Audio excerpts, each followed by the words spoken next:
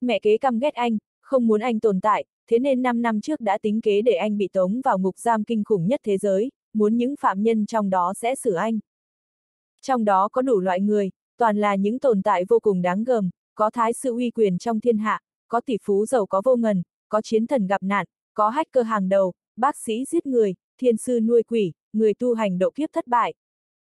Vốn dĩ bị nhốt ở nơi này, định là sẽ thập cửu nhất sinh, nhưng những người tù nhân không những không làm hại anh, lại còn truyền dạy bản lĩnh cho anh. Thời hạn giam giữ 5 năm đã kết thúc, khi anh bước ra khỏi tù giam, cả thế giới đều run rẩy.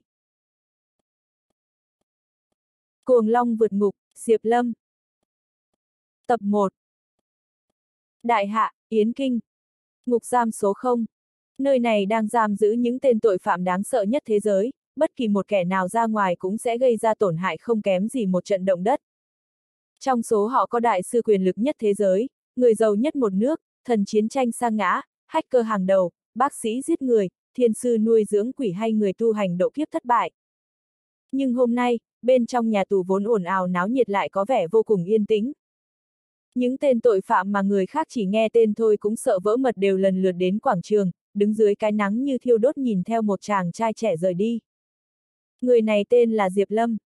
Đã ở nhà tù bị giam 5 năm, hôm nay là ngày anh được ra tù. Anh cũng sẽ là người đầu tiên được ra tù kể từ khi nhà tù này được xây dựng. Tiểu Diệp tử, y thuật tôi dạy cậu chỉ có thể dùng để giết người, không thể cứu người. Cậu nhớ không? Tiểu Lâm, tôi nhờ cậu chăm sóc cho đứa em gái ở ngoài ngục của tôi. Cậu có thể cưới con bé làm vợ cũng được. Con dao găm ông đây đưa cho cậu mỗi ngày đều dính máu, vì vậy hãy chăm sóc nó cẩn thận cho tôi. Sau khi ông đây vượt ngục thành công, sẽ tìm cậu xin lại.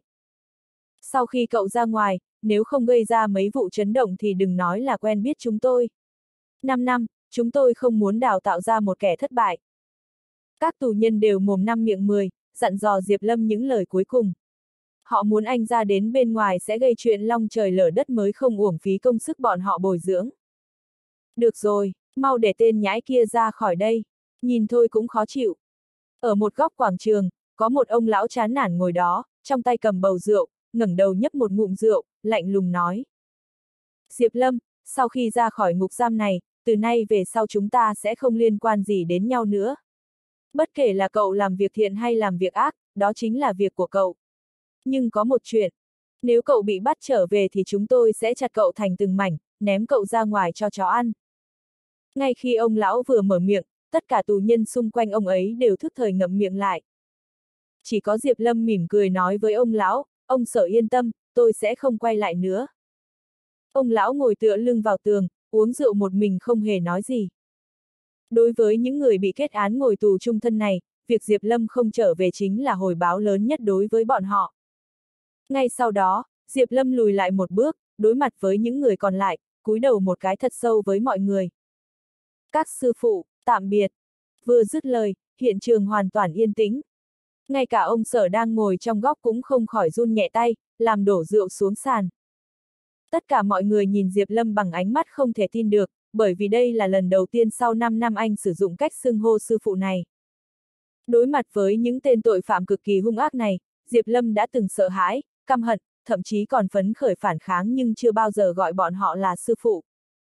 Nhưng bây giờ, trong lòng Diệp Lâm chỉ cảm thấy biết ơn. Dù thế nào đi nữa, chính những người này đã khiến anh thay ra đổi thịt, tái sinh một cuộc sống mới. Nếu không có sự hỗ trợ của họ thì 5 năm qua có thể anh đã chết trong tù, đúng như tâm nguyện của mẹ kế. Diệp Lâm là người coi trọng tình nghĩa. Vào khoảnh khắc sắp chia tay, trong lòng anh vẫn công nhận 108 vị sự phụ ở đây. Tôi đi đây. Diệp Lâm vẫy tay, cầm lấy chút hành lý đơn giản, không quay đầu lại, một đường rời khỏi ngục giam. Ông lão nhìn bóng lưng Diệp Lâm rời đi, lại nhấp một ngụm rượu, ngửa mặt lên trời cười nói, đi thôi, đi làm gió đi, làm gió vô định. Một khi rời khỏi đây, cậu sẽ giống như mãnh hổ về núi, rồng xuống biển, không ai có thể trói buộc được cậu nữa. Dù đêm dài có buông xuống thì lửa sẽ vĩnh viễn ở trong tay anh. Bên ngoài nhà tù, một chiếc xe công vụ màu đen đang đỗ. Khi nhìn thấy Diệp Lâm đi ra, cửa xe mở ra, sáu bảy người đàn ông mặc vest, cà vạt lần lượt bước ra. Diệp thiếu gia, chúng tôi là người mà phu nhân phái đến đón cậu. Những người đàn ông này lần lượt cúi chào Diệp Lâm, cũng mở cửa sau xe và làm động tác mời. Diệp thiếu gia, Diệp Lâm lẩm bẩm lặp lại cách xưng hô này, đã lâu không có người gọi anh như vậy. Diệp Lâm từng là đại thiếu gia của nhà họ Diệp, sống một cuộc sống cơm ngon áo đẹp. Tuy nhiên, hào môn vô tình. Anh mất mẹ khi còn nhỏ, mất đi che chở cùng việc bố anh tái hôn và bắt đầu một gia đình mới. Một đại thiếu gia như anh bỗng trở thành kẻ có cũng được, không có cũng xong. Sau khi trưởng thành, anh buộc phải vướng vào cuộc tranh chấp người thừa kế của gia đình. Cuối cùng, anh bị mẹ kế dùng những cáo buộc vô căn cứ tống vào tù, mặc kệ sống chết. Thời gian 5 năm là đủ để một đại thiếu gia ăn chơi chắc táng, tay chói gà không chặt chết thảm ở trong nhà tù cả trăm lần. Vốn dĩ Diệp Lâm đã cam chịu số phận, thậm chí còn có ý định tự sát ngay trong đêm đầu tiên sau khi bị giam vào tù, anh không muốn bị sỉ nhục. Tuy nhiên, trời không tuyệt đường người. Những kẻ tà ác trong tù khiến thế giới bên ngoài phải khiếp sợ đã không ra tay với Diệp Lâm. Thay vào đó, sau một hồi thảo luận, họ quyết định truyền thụ cho Diệp Lâm tất cả những gì họ đã học được trong suốt cuộc đời. Không phải lương tâm của họ đột nhiên trỗi dậy mà là họ bị giam cầm trong nhà tù này, rất khó thoát ra. Và họ lại không cam lòng để bản lĩnh của mình bị thất truyền. Vốn dĩ bọn họ muốn tìm một cai ngục làm người kế nhiệm nhưng đáng tiếc, cai ngục ở đây cứ 6 tháng phải điều động một lần. Dù sao công việc ở đây quá căng thẳng, tính lưu động sẽ cao hơn. Ngay vào lúc này, Diệp Lâm bị bỏ tù. Trong mắt những tù nhân này, Diệp Lâm giống như một tờ giấy trắng. Hơn nữa thời gian giam giữ kéo dài 5 năm, vừa đủ để họ thực hiện những thay đổi mạnh mẽ, bồi dưỡng một người kế vị trò giỏi hơn thầy. Y thuật, võ đạo, thiên thuật, huyền môn, cơ khí, kinh tế, chiến tranh. Kể từ đó, Diệp Lâm ở độ tuổi lẽ ra phải vào đại học lại phải chịu sự huấn luyện đặc biệt vô nhân đạo từ các phạm nhân trong tù. Sau 5 năm, Diệp Lâm đã được thay ra đổi thịt, không còn là đại thiếu gia không lo không nghĩ ăn chơi trác táng trước kia nữa mà đã thành một người kế nhiệm tà ác được bồi dưỡng từ tay của đông đảo các phạm nhân hung ác kia. Diệp thiếu gia, mời lên xe. Giọng nói của người đàn ông trước mặt cắt ngang dòng suy nghĩ ngắn ngủi của Diệp Lâm. Được. Diệp Lâm nhấc hành lý chuẩn bị lên xe. Xoẹt. Đột nhiên, có một tiếng xé gió vang lên. Bay nhanh đánh úp về phía bên này. Diệp Lâm theo bản năng vung tay chặn lại. Một viên sỏi lớn chừng lòng bàn tay bị nắm lại trong tay anh. Ai? Những người được phái đi đón Diệp Lâm lập tức căng thẳng, nhanh chóng tản ra, đề phòng cẩn thận. Diệp Lâm nhìn theo hướng viên sỏi bay đến, quay đầu lại nhìn. Chỉ thấy một chiếc xe địa hình đậu cách đó không xa, có hai bóng người mảnh khảnh đứng trước xe. Một người trong số đó thấy viên sỏi không đập trúng Diệp Lâm nên dứt khoát rút súng, lao nhanh vọt về phía bên này. Diệp Lâm, đồ sát nhân, vì sao mày có thể sống sót đi ra? Khốn kiếp, tao muốn giết mày. Là cô ta. Kim Lũ Y. Diệp Lâm nhìn người tới không khỏi căng thẳng, suy nghĩ của anh đột nhiên trở về 5 năm trước. Vụ tai nạn giao thông thảm khốc tạo thành bi kịch một người chết và 7 người bị thương. Mà Diệp Lâm bị người khác lừa gạt lại trở thành hung thủ. Đối với sự việc này, lúc đó Diệp Lâm bị người chuốc say, không còn chút ấn tượng nào cả. Nhưng sau đó, Diệp Lâm sẽ không bao giờ quên được ánh mắt đằng đằng sát khí của con gái người quá cố kia, hét thật to vào mặt anh, trả mẹ tao lại đây. Tao sẽ giết mày. Giống hệt người đến ở trước mặt. Cô gái nhỏ bằng tuổi anh năm đó cũng đã trưởng thành một cô gái duyên dáng yêu kiều. Vẻ trẻ con, ngây thơ năm đó đã bớt đi lại thêm mấy phần oai hùng, ngổ ngáo mà không hề thô tục. Mặc quân phục, không thua kém gì đấng mày dâu. Cầm khẩu súng lục 92, giống như một thiên sứ báo thù, từng bước một tiếp cận. Đại nhân, đừng xúc động, nữ nội phó ở một bên nhanh chóng đuổi theo, đưa tay đè cánh tay của Kim Lũ Y xuống, vì loại rác rưởi này, không đáng. Nhóm người do nhà họ Diệp cử đến cũng bị kinh ngạc sau khi nhìn thấy Kim Lũ Y. Chỉ huy của đội cận vệ Yến Kinh, người đã đạt tới cấp 3, là Kim Lũ Y. Nữ chỉ huy trẻ nhất và cũng là nữ chỉ huy duy nhất trong lịch sử đội cận vệ Yến Kinh. Nghe nói sau chuyện năm đó, cô ta được chiến thần U Châu nhận làm con gái nuôi, cũng coi như nhờ họa được phúc mới có ngày hôm nay. Từ lời nhận xét của người khác, Diệp Lâm biết được con gái của người bị hại năm đó đã bỏ sách vở đi nhập ngũ. Hiện tại, cô ta đã là chỉ huy toàn bộ đội cận vệ Yến Kinh, bảo vệ Yến Kinh, không thua kém gì đàn ông. Vụ tai nạn ô tô đó đã thay đổi quỹ đạo cuộc đời của quá nhiều người. Tại sao, kẻ sát nhân như mày có thể bắt đầu lại lần nữa chỉ sau 5 năm ngồi tù? còn mẹ của tao sẽ không bao giờ sống lại được. Tại sao, người tốt luôn bị tổn thương, còn kẻ ác như mày thì lại có thể ung dung ngoài vòng pháp luật? Dựa vào đâu? Kim Lũ Y gầm lên với Diệp Lâm, đôi mắt mở to như muốn nứt ra, bàn tay cầm súng vì giận dữ mà run lên. Bản thân Diệp Lâm cũng là nạn nhân nên cũng rất muốn biết câu trả lời. Yên tâm, chính nghĩa sẽ không vắng mặt. Diệp Lâm nói với cô ta, nếu vắng mặt thì tôi sẽ bù đắp. Lời nói của Diệp Lâm như chém đinh chặt sắt. Bởi vào một giây khi bước ra khỏi nhà tù anh đã sẵn sàng để chiến đấu. Máu đền máu, ăn miếng trả miếng. Thứ rác rưởi như mày mà cũng xứng nói đến chính nghĩa ư. Sau khi nghe Diệp Lâm nói xong, Kim Lũ Y càng tức giận hơn. Cô ta coi tất cả những điều này là sự khiêu khích của đối phương. Đừng tưởng rằng ra tù là mày sẽ được tự do. Tao gia nhập đội cận vệ Yến Kinh chính là để xua đuổi những kẻ ác như mày. Mày cứ chờ đấy cho tao. Tao sẽ theo dõi mày 24 giờ một ngày. Có thể bắt mày lại bất cứ lúc nào. Giữa những lời mắng chửi và nguyền rủa của Kim Lũ Y, Diệp Lâm lên xe rời đi. Ha ha, thật sự rất nguy hiểm. Vừa rồi tôi còn tưởng rằng chỉ huy sứ Kim thật sự muốn ra tay báo thù cho mẹ cô ta. Người đàn ông lái xe có chút vui sướng khi người gặp họ nói. Diệp Lâm không đáp lại, nhắm mắt nghỉ ngơi. Cùng lúc đó, anh từ từ buông tay ra, viên sỏi mà Kim Lũ Y ném đến lúc nãy đã biến thành bột mịn, phiêu tán khắp nơi. Không lâu, sau một chặng đường gập ghềnh, xe đã tới một vùng núi hoang vắng. Diệp thiếu ra, xuống xe đi. Ngay khi cửa xe mở ra, đám đàn ông kia dẫn đầu xuống xe và đợi bên ngoài. Nhanh như vậy đã về đến nhà sao? Diệp Lâm chậm rãi mở mắt. Ha ha, cậu còn muốn về nhà sao? Người cầm đầu cười lạnh một tiếng, một tên tù nhân đã ngồi tù 5 năm như cậu mà vẫn còn có mặt mũi quay về sao? Vừa nói, người đàn ông kia đã ném vào trong xe một quyển hộ chiếu và một tấm thẻ ngân hàng. Phu nhân có lệnh, cậu cầm số tiền này, rời khỏi đất nước và đừng bao giờ quay lại nữa. Diệp Lâm không trả lời mà hỏi, nếu tôi không đi thì sao? Ha ha, những người bên ngoài đều cười lớn, vậy chúng tôi sẽ tiến cậu lên đường ngay ở chỗ này. Đã nhiều năm như vậy, người phụ nữ đó vẫn muốn đẩy tôi vào chỗ chết ư. Diệp Lâm cúi người, đi từ trên xe xuống. Tiếp sau đầu thai thì tìm một gia đình bình thường đi.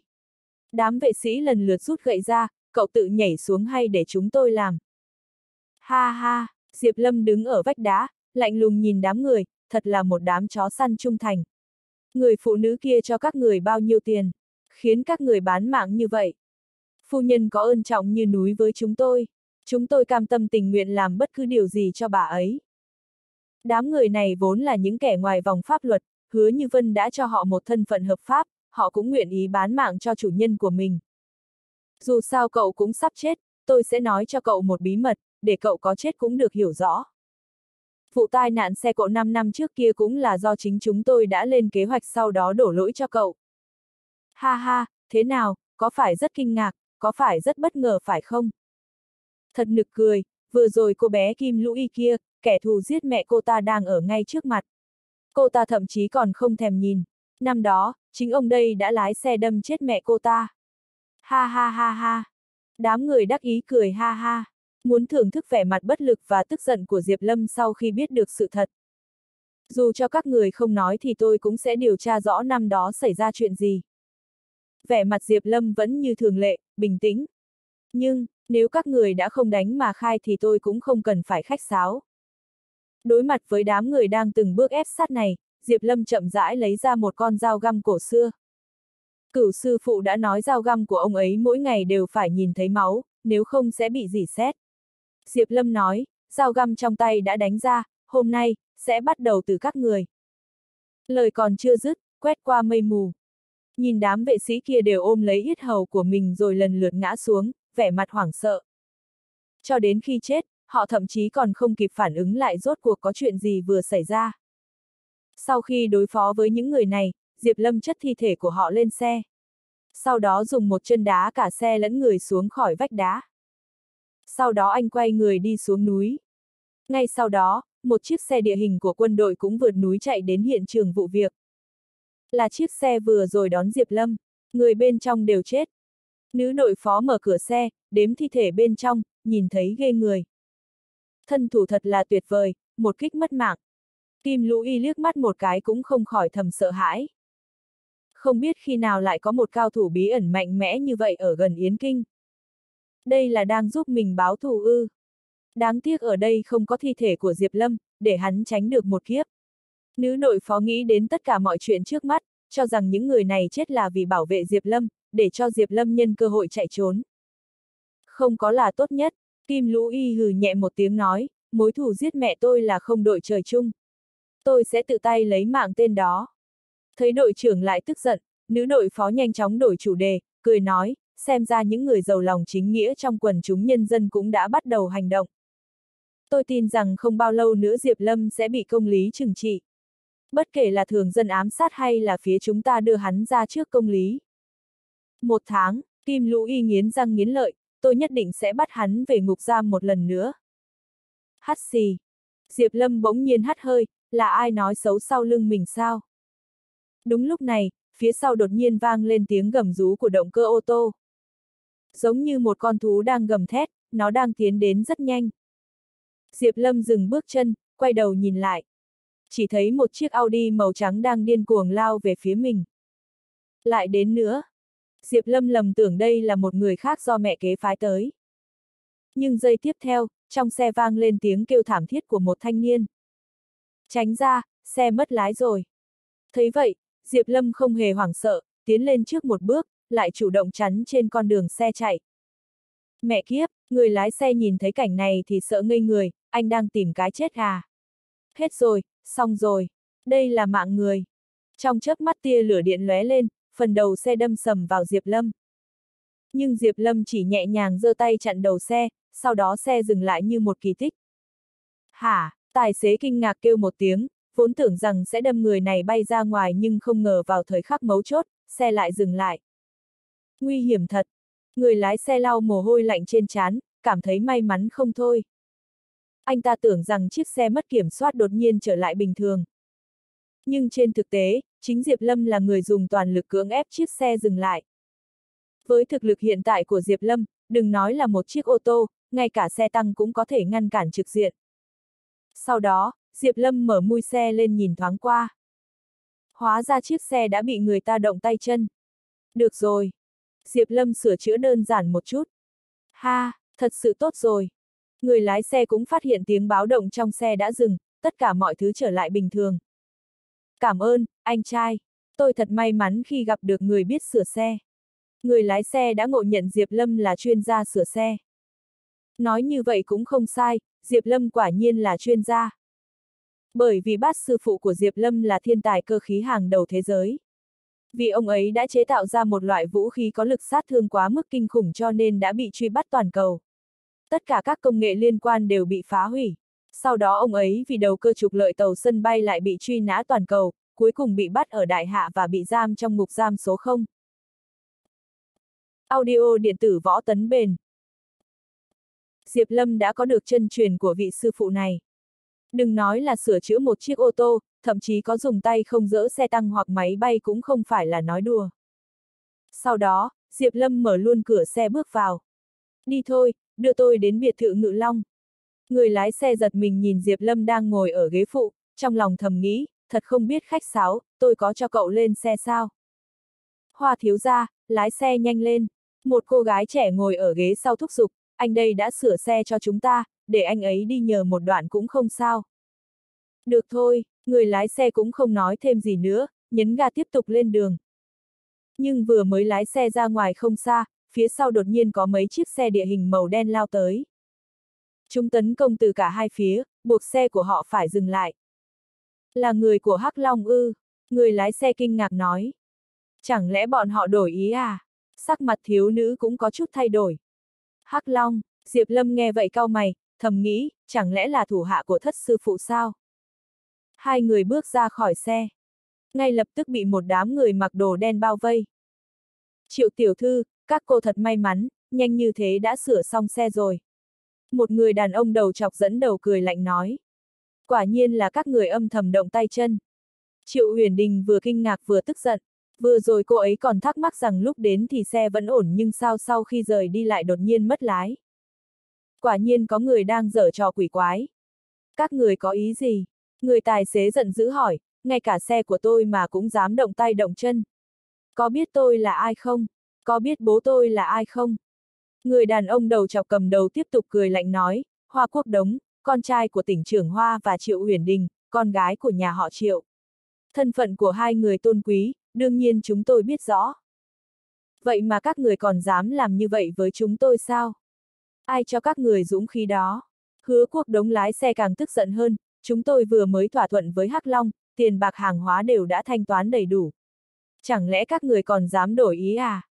Đúng vậy, ông chủ của chúng tôi đã hối hận. Người đàn ông đầu chọc lạnh lùng nói, tiền chúng tôi giữ lại nhưng đồ cũng phải đến mang về.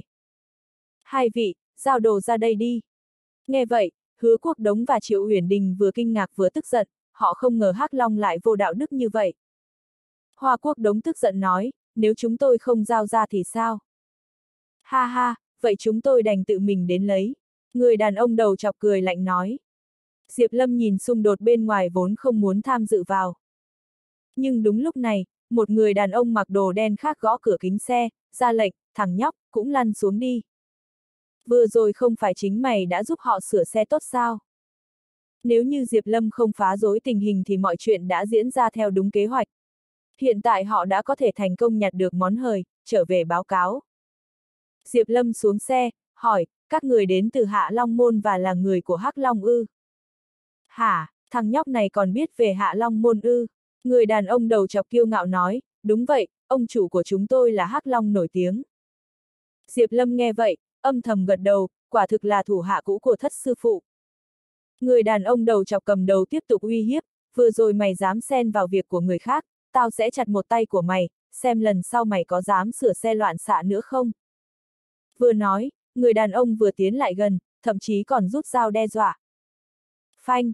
Chỉ thấy Diệp Lâm đấm ra một quyền với tốc độ xét đánh không kịp bịt tai. Mọi người chưa kịp phản ứng thì đã thấy gã đầu chọc cầm dao đã bị đánh bay. Hiện trường hoàn toàn yên tĩnh.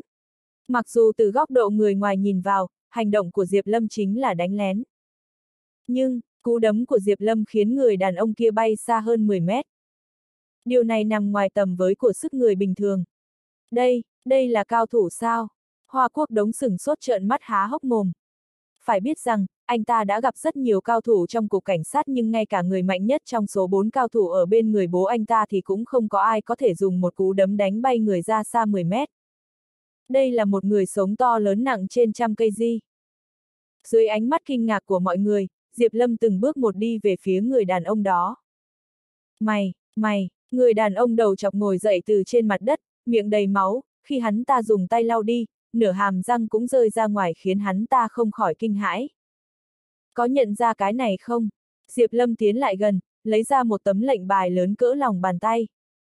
Khi nhìn thấy lệnh bài này, người đàn ông càng sợ hãi hơn, mọi tức giận trong lòng đều biến mất. Long, Long Vương lệnh. Tại sao cậu lại có Long Vương lệnh? Vẻ mặt người đàn ông như thể vừa nhìn thấy ma. Phải biết rằng, khi lão Long Vương biến mất, Long Vương lệnh cũng biến mất suốt 7 năm. Ngày nay, Hạ Long Môn đã sụp đổ, mỗi người đều tự xưng vương. Họ ước định với nhau, ai tìm được Long Vương lệnh có thể trở thành Long Vương mới của Hạ Long Môn. Người đàn ông đó không bao giờ dám mơ rằng Long Vương lệnh huyền thoại sẽ thực sự xuất hiện trong tay chàng trai trẻ này. Diệp Lâm thu hồi Long Vương lệnh, lạnh lùng nói, trở về nói cho Hắc Long, Long Vương của các người đã trở lại. Bảo hắn ta lập tức triệu tập những con rồng nhãi con khác đến Long Môn Lâu gặp tôi vào tối mai. Sau khi tiễn ba người ngồi lên xe rời đi. Đám đầu chọc kia vừa mới hồi phục tinh thần lại sau cú khiếp sợ vừa rồi. Lão đại, định thả bọn họ đi như vậy ư. Đám đàn em đỡ người đàn ông đầu chọc lên, do dự không biết có nên tiếp tục đuổi theo không. Vớ vẩn, nếu không thả bọn họ đi thì mày có thể đánh thắng được người đó sao? Người đàn ông đầu chọc che đi nửa bên má sưng tấy, cảm thấy kinh hãi không thôi. Đây là lần đầu tiên hắn ta bị đánh nặng như vậy. Tệ hơn nữa là trong tay người kia lại nắm giữ Long Vương lệnh. Đi thôi, chúng ta phải nhanh chóng trở về.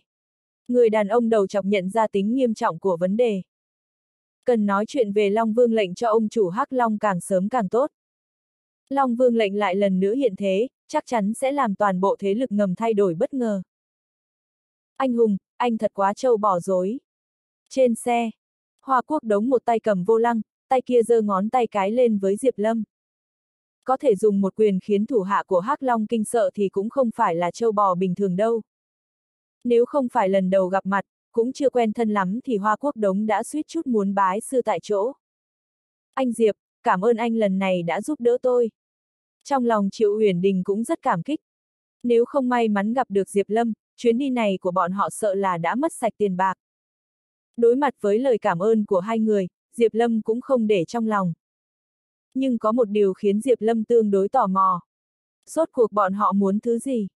Triệu Huyền Đình lấy từ trong ba lô ra một bức tượng Phật bằng ngọc. Chính là tượng Phật bằng ngọc này. Tôi đã nhìn chúng tượng Phật ngọc này trong một đấu giá vào tuần trước. Tôi muốn mua nó làm quà sinh nhật để tặng ông nội. Tuy nhiên ông chủ Hắc Long của thế giới ngầm lại không chịu bán đấu giá.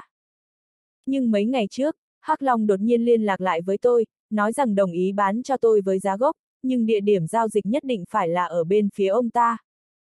Tôi sợ đi một mình nên đã mời Hoa Thiếu ra đi cùng.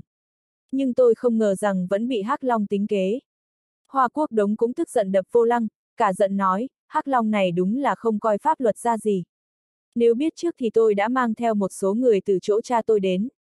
Chuyện này mà xảy ra ở Yến Kinh hoặc trong thành phố thì có cho ông ta 10 lá gan ông ta cũng không dám làm. Diệp Lâm nhìn thoáng qua tượng Phật Ngọc kia, phát hiện tuy rằng Ngọc này là một khối Ngọc tốt nhưng hình như có người ẩn bùa chú bên trong tượng Phật Ngọc, ẩn giấu huyền cơ. Tượng Phật Ngọc này là một tà vật, tốt nhất nên vứt bỏ nó, tránh hại người hại mình. Diệp Lâm tốt bụng nhắc nhở. Cái gì? Tà vật à? Hai người nghe được lời này, đều có chút khó tin. Trong buổi đấu giá giới thiệu, tượng Phật Ngọc này là do một cao tăng khai quang. Triệu Huyền Đình cười nói thêm. Thấy bọn họ không tin, Diệp Lâm cũng không nói thêm nữa. Thấy Diệp Lâm im lặng, hai người cũng tự cho là Diệp Lâm vừa nói đùa. Tuy rằng anh đánh nhau rất giỏi nhưng khác nghề như cách một ngọn núi. Sao anh có thể hiểu được về Ngọc chứ? Họ lại không biết rằng vị sư phụ thứ 33 của Diệp Lâm trong tù là một chuyên gia về đồ cổ và ngọc thạch. Ông ấy trộm mộ đế vương để đầu cơ trục lợi quốc bảo bị kết án tù trung thân. Từ chỗ ông ấy, Diệp Lâm đã luyện được một đôi mắt có thể phân biệt được hoàng kim thật hay giả. Diệp Lâm vừa nhìn đã có thể thấy được sự kỳ quái của tượng Phật Ngọc này. Dù sao thì tôi cũng rất biết ơn vì được gặp anh, anh Diệp. Triệu Huyền Đình mỉm cười nói, tôi thực sự không biết phải cảm ơn anh như thế nào nữa. Các người cũng không cần phải cảm ơn tôi. Diệp Lâm vốn không có ý định giúp đỡ nhưng đám người kia cứ nhất quyết bắt anh xuống xe. Nhưng tôi cũng không giúp không công. Diệp Lâm bình tĩnh nói, vừa rồi tôi đã giúp các người hai lần, phải trả nhiều tiền hơn. Ách, trong xe bỗng nhiên im lặng. Hoa Quốc Đống và Triệu Huyền Đình quay sang nhìn nhau, không ngờ Diệp Lâm lại trực tiếp như vậy. Ha ha, anh Hùng nói chuyện thật nhanh nhẹn sảng khoái. Hoa Quốc Đống cười nói. Được rồi, anh Diệp, anh nói đúng. Chúng tôi thực sự không thể để anh giúp không công. Triệu Huyền Đình cũng hỏi, anh Diệp muốn thủ lao bao nhiêu? Tiền, đối với cả hai nhà bọn họ đều không thiếu. Diệp Lâm suy nghĩ một chút, anh mới tới đây, không một xu dính túi. Thế là anh thản nhiên báo số. Vậy cho tôi 2 triệu đi. Triệu Huyền Đình không hề nhiều lời lấy thẻ ngân hàng từ trong túi ra. Trong thẻ này có một triệu, lần sau gặp nhau, số tiền còn lại tôi sẽ đưa nốt cho anh. Triệu Huyền Đình thấy thân thủ của Diệp Lâm bất phàm lại cực kỳ thần bí nên rất tò mò và muốn nhân cơ hội này để làm quen với anh. Một triệu trong tấm thẻ này vốn dĩ được chuẩn bị đặc biệt vì sợ Hắc Long nhất thời tăng giá. Chỉ không ngờ giữa chừng lại xảy ra chuyện như thế này nên mượn hoa dâng Phật cũng là điều hợp lý. Tất nhiên, cô ấy không thanh toán hết một lần cũng là vì để cơ hội gặp mặt lần nữa. Rất nhanh, hứa quốc đống đã lái xe đến khu biệt thự Ngự Long ở Yến Kinh. Anh Hùng, anh sống ở đây à? Hoa quốc đống dừng xe. Diệp Lâm nhìn ra khung cảnh quen thuộc ngoài cửa sổ. Năm năm, cảnh còn người mất. Nơi này đã từng là nhà của anh. Nhưng bây giờ, đã không phải nữa. Nhìn bóng lưng Diệp Lâm đi xa, Triệu Huyền Đình đột nhiên nhớ tới một tin tức, a, à, tôi nhớ ra rồi. Nói xong, Triệu Huyền Đình nhanh chóng lấy điện thoại di động ra, tìm được một tin tức sáng nay. Diệp Lâm, đại thiếu gia của nhà họ Diệp ở Yến Kinh, hôm nay đã được ra tù. Gia tộc tuyên bố, anh ta sẽ bị trục xuất khỏi gia tộc ngay lập tức, vạch ra danh giới rõ ràng. Hóa ra anh ta chính là, đại thiếu gia của nhà họ Diệp vừa mới ra tù. Triệu Huyền Đình lúc này mới nhận ra. Lúc này trong biệt thự Ngự Long, ở một nơi xa hoa trong biệt thự. Một người phụ nữ trung niên duyên dáng đang vô cùng thích thú xem một bản tin. Tin tức từ đài của chúng tôi, một chiếc xe được tìm thấy rơi xuống vách đá gần núi Hoàng Nhai ở Yến Giao. Đám người A báo làm không tệ, hứa như Vân hài lòng gật đầu, trở về sẽ thưởng lớn cho bọn chúng. Người này chính là hứa như Vân, cô vợ trẻ được cha của Diệp Lâm cưới về. Ha ha, mạng của anh trai con thật là lớn, ở chỗ kia tận 5 năm mà chưa chết, nhưng lần này sợ là không được may mắn như vậy. Ở bên cạnh, một thiếu niên đang cúi đầu nghịch điện thoại di động nhưng trên mặt lại lộ ra nụ cười hài lòng. Bởi vì không còn ai có thể tranh giành địa vị và tài sản của Diệp ra với cậu ta. Người này chính là em trai cùng cha khác mẹ của Diệp Lâm Diệp Trạch. Nhưng lúc này, màn hình TV lại tập trung vào tình huống bi thảm bên trong xe. Phóng viên tiếp tục đưa tin, trên xe có 7 người, tất cả đều thiệt mạng. Cái gì? Hứa như Vân lao tới trước TV, nhìn chằm chằm vào hình ảnh người chết trên đó. Sao có thể? Những gương mặt quen thuộc kia cùng tử trạng chết không nhắm mắt của họ đã đánh thẳng vào lòng bà ta. Bà ta có nằm mơ cũng không ngờ rằng kẻ chết lại là người của mình. Đám người chú báo đều đã chết rồi ư. Diệp Trạch cũng kinh ngạc đánh rơi điện thoại, anh trai con thì sao? Bùm! Lúc này, cửa nhà bị một người đá tung ra. Một cơn gió mạnh quét qua. Ngoài cửa, một đám người hầu không ngăn cản được, chỉ có thể cật lực khuyên nhủ, đại thiếu gia bình tĩnh, có chuyện gì thì đợi ông chủ về rồi nói. Đại thiếu gia, nghe thấy xương hô này, hai mẹ con như bị điện giật, kinh hãi quay lại. Sau khi thấy Diệp Lâm như ma quỷ xuất hiện ở cửa nhà mình thì cả hai không khỏi dùng mình. Là mày sao? Hứa như Vân kinh hãi mở to mắt, sao mày vẫn còn sống? Hứa như Vân có nằm mơ cũng không ngờ rằng Diệp Lâm có thể sống sót trở về. Năm năm tù không giết được nó, đám côn đồ mà mình phái đến cũng không giết được nó sao? Tại sao mạng của thằng nhãi này lại cứng như vậy? Tôi không chỉ còn sống. Diệp Lâm bước từng một đi vào phòng khách, tôi còn sống rất khỏe mạnh. Chính anh đã giết mấy người chú báo sao? Diệp Trạch hỏi. Cậu đang nói đám người đón tôi ra khỏi tù sao? Diệp Lâm bình tĩnh trả lời, yên tâm, bọn họ ra đi rất thanh thản. Một dao cắt cổ, bọn họ thậm chí còn không kịp cảm nhận được đau đớn. Anh, Diệp Trạch tức giận nghiến răng nghiến lợi. Tuy rằng đám A báo chỉ là côn đồ nhưng có thể giúp Diệp Trạch lập uy trong trường. Vì vậy Diệp Trạch vẫn rất ỉ lại vào đám người A báo, thậm chí còn thân thiết gọi là chú báo. Hứa như Vân nhanh chóng bình tĩnh lại, những mày giận dữ hét lên, sao mày lại quay lại đây? Mày là nỗi xấu hổ của gia đình này. Một kẻ cặn bã. Vừa nói, hứa như Vân vừa ném ra một tờ báo, nói, sáng nay nhà họ Diệp đã ra tuyên bố với bên ngoài rằng mày sẽ bị đuổi ra khỏi nhà vĩnh viễn. Mày không còn là người nhà họ Diệp nữa, chúng tao cũng không có đứa con trai như mày. Thức thời thì mau cút đi. Hứa như Vân ngẩng cao đầu, dùng ánh mắt như nhìn chó nhà có tang miệt thị Diệp Lâm. Dù cho mạng của thằng nhãi này có lớn đến đâu thì có thể làm gì chứ? Mất đi gia đình che chở trả phải sẽ là con kiến mặc người dày xéo ư. Mau cút đi, tôi cũng không muốn nhận một người anh trai từng ngồi xổm trong ngục giam đâu. Nói ra thật xấu hổ, Diệp Trạch cũng khinh thường xua đuổi.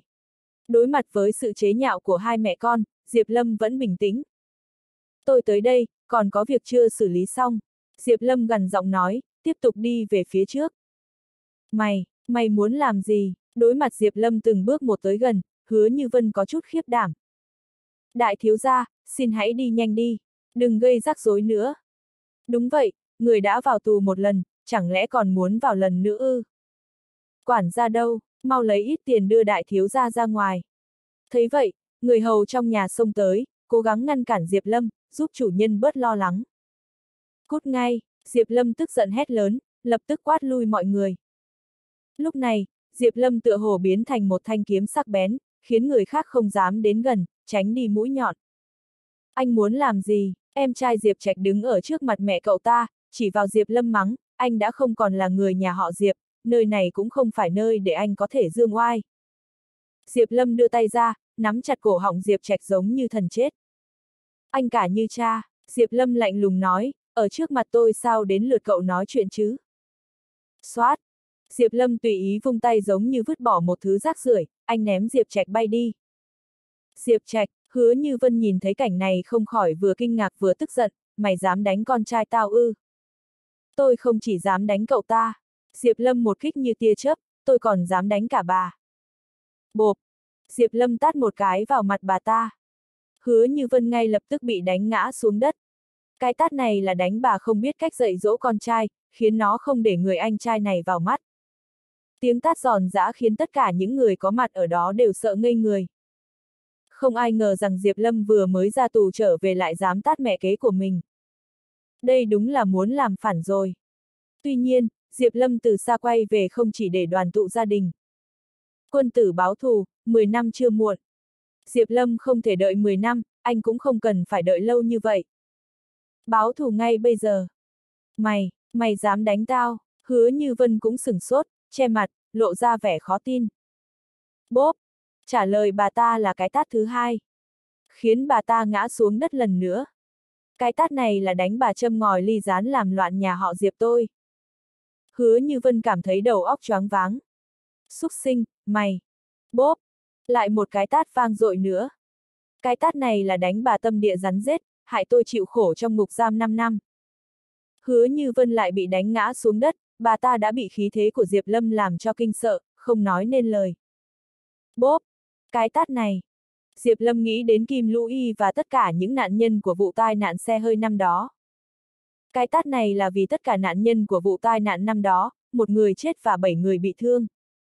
Khóe miệng hứa như vân chảy máu tươi ròng ròng. Bốp! Cái tát này là để cho bà nhớ ký, Diệp Lâm tôi đã trở lại. Hai má hứa như vân sưng tấy.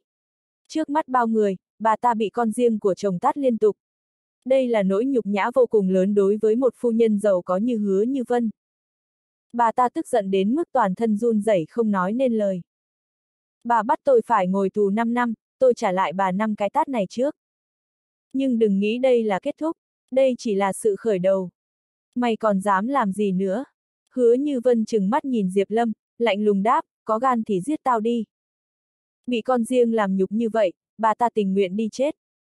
Giết bà ư, ha ha, Diệp Lâm khinh thường cười lạnh, bây giờ tôi giết bà như giết lợn giết chó. Giết bà ta là quá dễ dàng cho bà ta rồi. Tôi sẽ tự tay lấy lại tất cả những gì thuộc về mình. Mọi thứ của nhà họ Diệp. Tôi cũng sẽ trả lại cho bà gấp 10 gấp trăm lần những đau khổ mà tôi đã phải chịu đựng. Bà cứ nhìn cho kỹ, chờ xem. Năm năm trước, Diệp Lâm từng muốn từ bỏ tất cả nhưng hứa như Vân vẫn muốn đuổi tận giết tuyệt. Một khi đã như vậy, Diệp Lâm sẽ chơi với bà ta đến cùng, lấy lại tất cả mọi thứ của bà ta, trả lại gấp trăm lần. Sau khi thông báo xong mọi chuyện, Diệp Lâm quay người rời đi. Một đám người hầu bị bỏ lại phía sau, ngơ ngác nhìn nhau, không dám thở mạnh. Đại thiếu gia, hình như đã trở thành một người khác. Khí thế vừa rồi thật đáng sợ. Phu nhân, cậu chủ, hai người ổn chứ? Hai mẹ con được mọi người nâng dậy. Mẹ, anh ta đánh con, Diệp Trạch cảm thấy toàn thân đau nhức, mặt như đưa đám kêu lên, con lớn như vậy. Còn chưa có ai dám đánh con. Hứa như Vân cũng che hai má nóng bừng của mình, cảm thấy vừa kinh ngạc vừa tức giận. Ra ngoài, đều cút hết ra ngoài cho tôi. Tất cả những chuyện xảy ra ở chỗ này hôm nay, nếu các người dám truyền ra ngoài chỉ một chút thì tôi sẽ cắt lưỡi các người. Hứa Như Vân gầm lên, đuổi đám người hầu ra ngoài. Sau đó, Hứa Như Vân lấy điện thoại di động ra, bấm một dãy số, nước mắt nước mũi khóc lóc kể lể nói. Anh ơi, thằng xúc sinh đó đã trở lại. Nó còn đánh em, anh phải trả thù cho em. Chính là thằng xúc sinh Diệp Lâm đó. Nó còn sống, anh mau tìm một vài người tàn nhẫn, thay em giết chết nó. Hứa như Vân nghiến răng nghiến lợi nói vào điện thoại. Lúc này, đầu bên kia của điện thoại. Một người đàn ông trung niên đang nằm trên chiếc giường sang trọng và rộng rãi, trái phải có hai người đẹp trẻ tuổi vần quanh. Người này không ai khác chính là anh trai của Hứa Như Vân, Hứa Như Hải. Nhà họ Hứa là một trong 10 gia đình giàu có nhất Yến Kinh. Hứa Như Hải với tư cách là người thừa kế của gia đình, càng có mánh khóe thông thiên. Sau khi nghe tiếng em gái khóc lóc kể lể, sắc mặt hứa như hải dần tối sầm lại, khiến hai người đẹp bên cạnh sợ hãi lùi lại. Thế mà thằng xúc sinh kia còn chưa chết, mạng lớn thật đấy. Em gái, đừng khóc, anh sẽ thay em làm chủ. Anh lập tức phái người đi bắt thằng nhãi kia, lóc thịt nó từng chút từng chút một. Ban đêm, gió lạnh thổi từng cơn, ánh trăng thật dễ chịu. Sau khi rời khỏi nhà họ Diệp, cơn giận tích tụ trong lồng ngực nhiều năm của Diệp Lâm cuối cùng cũng được giải phóng. cả người không khỏi cảm thấy thoải mái hơn rất nhiều. Chỉ là lần này về nhà không thấy cha anh. Nhưng khi nghĩ đến từ khi cha mình cưới mụ hồ ly tinh kia càng thêm xa cách lạnh nhạt với đứa con trai như anh, thậm chí còn cho phép bà ta tùy ý ra tay tống anh vào tù. Diệp Lâm không tin cha mình sẽ không biết nội tình. Người cha vô tâm như vậy, không có cũng không sao. Nhưng, bây giờ bản thân anh, một là không có tiền, hai là không quyền lực, ba là không có thế lực. Một mình đối mặt với nhà họ Diệp không khác gì con kiến lay cây lớn. Tuy nhiên, những thứ này sẽ sớm có. Vậy trước tiên đi gặp người của tam sư phụ trước đã. Sư phụ thứ ba của Diệp Lâm từng là người giàu nhất thế giới. Dù hiện tại gia thế xa sút nhưng vẫn có một số tài sản, những thứ đó có thể trợ giúp anh làm được việc.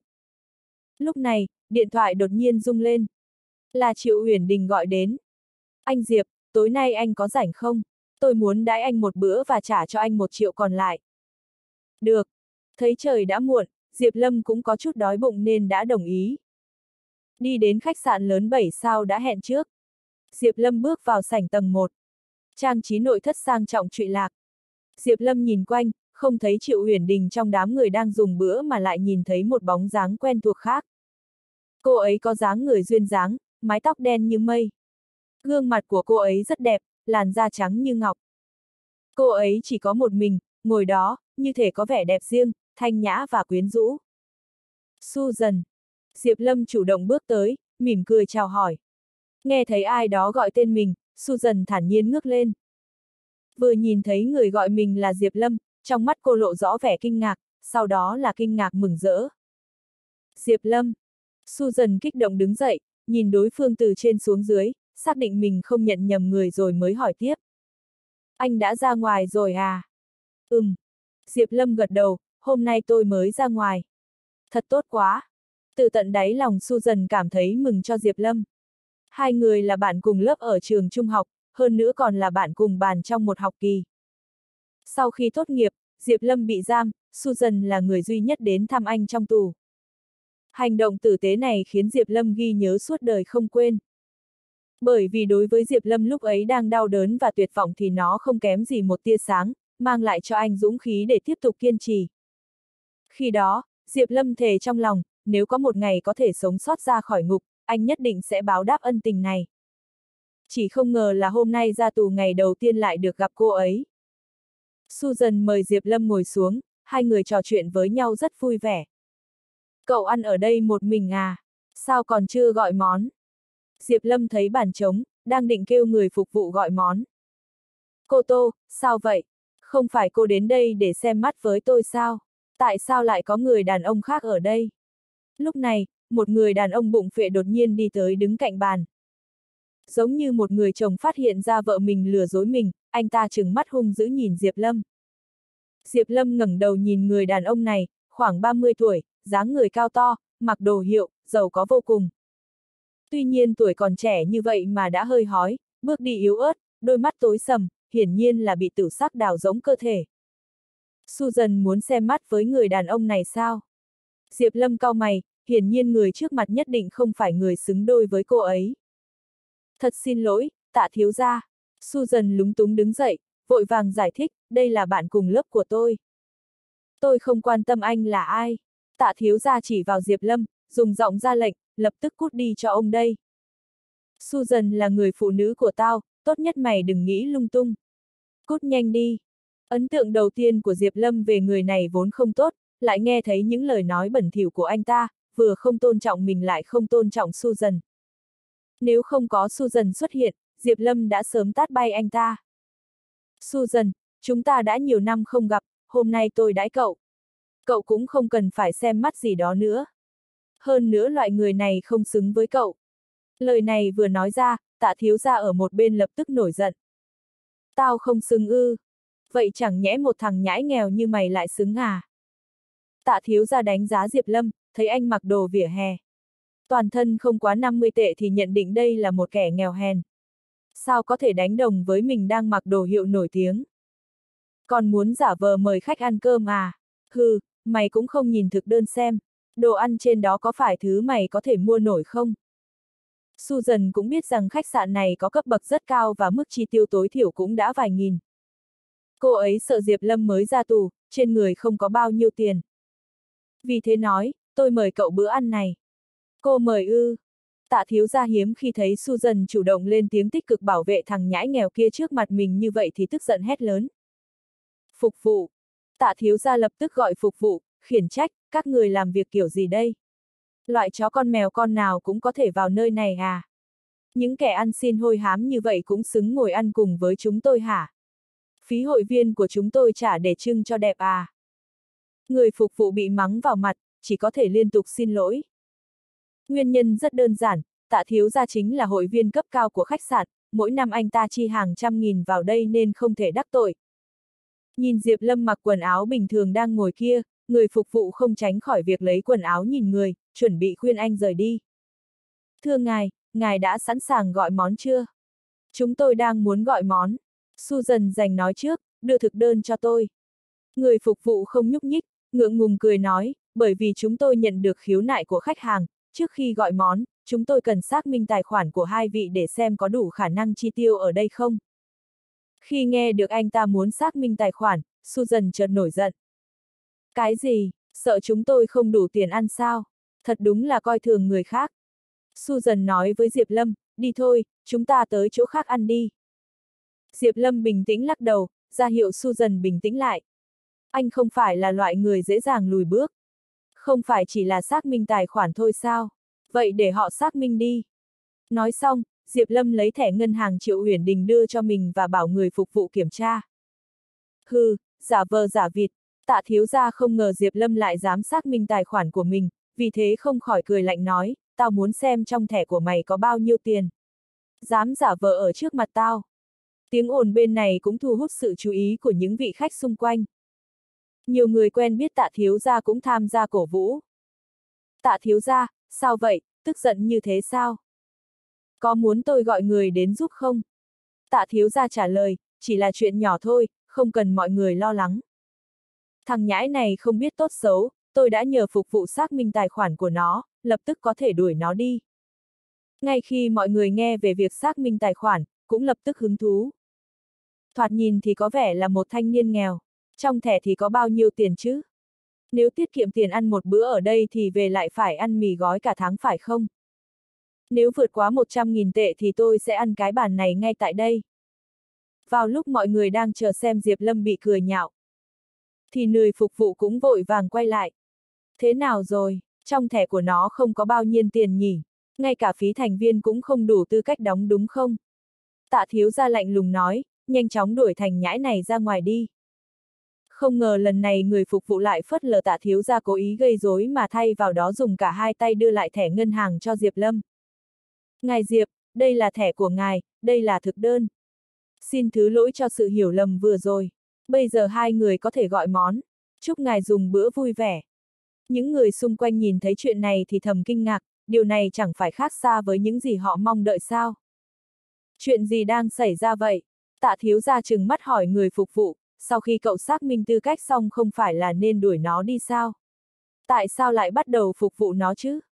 Người phục vụ nói, ngài tạ, tôi nghĩ ngài đã hiểu lầm rồi. Số dư trong thẻ của quý ông này đủ để chi tiêu ở đây. Nó có bao nhiêu tiền? Tạ thiếu gia không tin. Một triệu tệ, người phục vụ thành thật nói. Nghe được con số này, mọi người không khỏi kinh ngạc, tất cả đều giả vờ như không có chuyện gì xảy ra. Phải biết rằng, một triệu tuy không nhiều nhưng cũng không ít.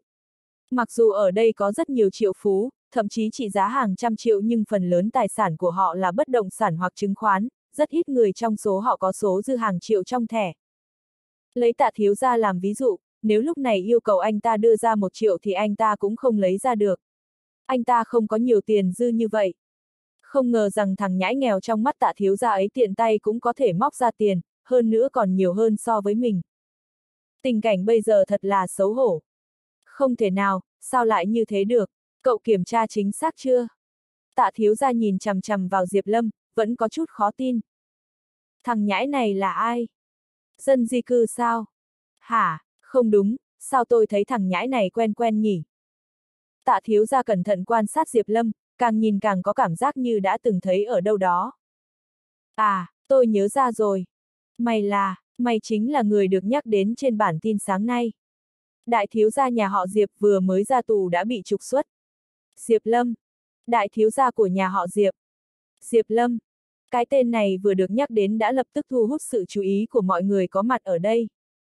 Cho dù sáng nay chưa xem tin tức thì ở Yến Kinh có ai mà không biết uy thế của nhà họ Diệp.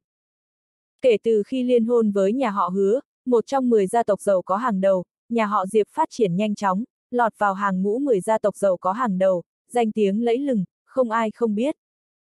Tạ thiếu gia lập tức hiểu được tiền trong thẻ của Diệp Lâm là vì sao mà có. Vì thế anh ta cười khẩy nói, xem ra một triệu trong thẻ của mày là phí khi bị đuổi ra khỏi nhà đúng không? Chỉ một triệu là đuổi được mày đi, thật rẻ mạt. Nếu Diệp Lâm vẫn là con trai lớn nhà họ Diệp thì dù có trăm lá gan tạ thiếu gia cũng không dám chọc tức anh. Nhưng bây giờ Diệp Lâm đã bị đuổi ra khỏi gia tộc, theo tạ thiếu gia, ai cũng có thể dẫm đạp lên anh. Đến đây, hãy để tôi long trọng giới thiệu. Ích, vị khách có một triệu tệ trong tài khoản này là Diệp Lâm, đã từng là con trai cả của nhà họ Diệp. Nghe nói rằng 5 năm trước, anh ta đua xe đâm chết người, vì vậy phải ngồi trong ngục 5 năm. Hôm nay vừa mới mãn hạn được thả ra nhưng vừa mới ra ngoài đã bị đuổi cổ khỏi nhà, nhà họ Diệp coi đây là nỗi sỉ nhục của gia đình. Tạ thiếu gia công khai vụ bê bối của Diệp Lâm ở trước mặt mọi người, câu chuyện này lập tức nhận được sự đồng tình của nhiều người có mặt. Thì ra anh ta chính là đại thiếu gia của nhà họ Diệp đã lái xe tông chết người năm đó. Vụ việc đó đã gây xôn xao dư luận đấy. Ha ha, có tiền thật tốt, đâm chết người mà chỉ bị kết án 5 năm. Vì sao không bắn chết anh ta nhỉ? Sao một nhà hàng cao cấp lại cho phép một tội phạm có tiền án phải lao động cải tạo đi vào? Nhớ đâu anh ta lại phát điên rồi lại làm tổn thương người khác thì sao? Nhất thời, những giọng nói nhằm vào Diệp Lâm dần dần trở nên lớn hơn. Tạ thiếu gia, anh gây chuyện đủ chưa? Su dần nhịn không được, lập tức ngăn cản, tôi muốn ăn cơm tối với bạn học, mời anh rời đi. Nhìn thấy Susan liên tục bảo vệ Diệp Lâm, tạ thiếu gia càng tức giận, cũng chút hết bất bình vào Diệp Lâm. Susan, cô nên hiểu rằng người ngồi trước mặt cô không còn là đại thiếu gia của nhà họ Diệp nữa mà là một tên tội phạm cải tạo bị đuổi khỏi gia tộc. Hơn nữa còn đâm chết người và phải ngồi tù 5 năm lao động cải tạo. Cô không cảm thấy xấu hổ khi ở bên một người như vậy sao? Cho dù anh ta có một triệu thì cũng là kẻ thuộc dạng miệng ăn núi lở. Đại thiếu gia ăn chơi trác táng như hắn ta thì chẳng mấy chốc sẽ phung phí hết. Susan nói, tôi ở cùng ai không cần anh quan tâm. Xin hãy rời đi. Hừ, tôi đi sao? Tạ thiếu gia hừ lạnh một tiếng, ra vẻ không tin, Susan, cô đừng quên, tối nay là ngày chúng ta xem mắt. Vốn dĩ Susan không muốn đi xem mắt nhưng cha mẹ cô ấy đã thúc giục đến mức cô ấy không còn lựa chọn nào khác. Thấy thái độ của tạ thiếu gia hung hãn như vậy, cô ấy đành ngửa bài với anh ta. Xem mắt với anh chỉ là để đối phó với cha mẹ tôi mà thôi. Susan lạnh lùng nói, tôi không thể nào thích anh được. Cái gì? Lời nói thật của Susan không khác gì hồi chuông cảnh tỉnh tạ thiếu ra kẻ vốn luôn tự cảm thấy hài lòng về bản thân. Thế mà cô lại vì thằng nhãi này từ chối tôi sao? Tạ thiếu gia đã hoàn toàn tức giận. Đừng quên, cha mẹ cô còn nhờ tôi giúp đỡ, muốn cô đến làm việc tại trụ sở tập đoàn triệu thị đấy. Tôi là trưởng phòng nhân sự, nếu cô đắc tội với tôi thì cả đời cô sẽ không bao giờ được vào một công ty lớn như thế. Tôi sẽ phong sát cô trong toàn ngành sản xuất. Nghe vậy, sắc mặt Susan hơi thay đổi, cô ấy mím chặt môi, hối hận về lời nói và hành động vừa rồi của mình. Nguyên nhân chính khiến hôm nay cô ấy đến đây xem mắt, ngoài việc ứng phó với cha mẹ ra thì còn vì tạ thiếu gia là trưởng phòng nhân sự của công ty mà cô ấy muốn ứng tuyển, nên cô ấy không thể đắc tội anh ta quá nhiều. Nhưng những gì cô ấy nói vừa rồi lại hủy hoại công việc tương lai của chính mình. Đâu có ai mà chưa vào công ty đã đắc tội với trưởng bộ phận, hơn nữa còn là trưởng phòng phụ trách nhân sự. Dù Susan có ưu tú đến đâu thì sau này dù nhận được lời mời cũng đừng mong được thông qua. Không đi thì không đi. Susan bướng bỉnh nói, Yến Kinh có rất nhiều công ty. Tôi không tin là mình không tìm được việc làm. Diệp Lâm nghe được mấy từ tập đoàn Triệu Thị lại thầm nghĩ không biết Triệu Huyền Đình có liên quan gì đến công ty này không nhỉ? Liệu cô ấy có thể giúp gì được không? Yên tâm, tôi có thể giúp cậu có được công việc ấy. Diệp Lâm an ủi cô ấy. Suy cho cùng, Susan là vì mình mà đã đắc tội loại tiểu nhân như thế. Hơn nữa, sau này Diệp Lâm cũng sẽ thành lập công ty của riêng mình. Vì vậy, không cần phải lo lắng về vấn đề công việc. Tuy nhiên, khi tạ thiếu gia nghe được lời này thì không khỏi cười lạnh, mày giúp. Mày có thể giúp như thế nào? Mày cho rằng mình vẫn là đại thiếu gia của nhà họ Diệp sao? Cho dù là thằng em trai cùng cha khác mẹ của mày ở đây thì cũng không dám lớn tiếng nói ra lời như vậy. Bởi vì thực lực nhà họ Triệu mạnh hơn nhà họ Diệp của chúng mày rất nhiều. Diệp Lâm vì nể mặt Susan nên đã nhẫn nhịn nhiều lần nhưng không ngờ đối phương không nói điều hay mà lại toàn nhắc đến cái dở, nhắc ai không nhắc lại nhắc đến tên Diệp trẻ cùng cha khác mẹ của mình. Nói đủ chưa? Diệp Lâm hỏi. Làm sao, mày quản được tao nói gì à? Tạ thiếu gia khinh thường nói. Nói đủ rồi thì lập tức cút khỏi đây. Diệp Lâm lạnh lùng cảnh cáo, hôm nay tôi không muốn đánh người. Tạ thiếu gia coi lời cảnh báo của Diệp Lâm như gió thoảng bên tai. Thậm chí còn ở bên cạnh dương nanh múa vuốt, tiếp tục khiêu khích. Đánh người à? Tao xem mày có dám động đến một cọng lông của tao không? Rời khỏi nhà họ Diệp thì mày chẳng là cái thá gì cả. Còn muốn đánh tao à? Nào, thử đánh tao xem. Nói xong, tạ thiếu gia cũng chủ động đưa mặt ra. Anh ta cho rằng Diệp Lâm chỉ mạnh mồm chứ căn bản không dám ra tay. Diệp Lâm chưa bao giờ nhìn thấy yêu cầu như vậy. Đành phải làm như anh ta mong muốn thôi. Bốp! Diệp Lâm tát một cái khiến cho tạ thiếu gia lập tức bay ra ngoài. Loảng xoảng! Lại là một tiếng vang khác. Tạ thiếu gia va vào một chiếc bàn ăn phía sau, thức ăn thừa vương vãi khắp người anh ta. Tức thì, ngoại trừ tạ thiếu gia bị đánh đang phát ra từng tiếng kêu rên thì khung cảnh hoàn toàn tĩnh mịch.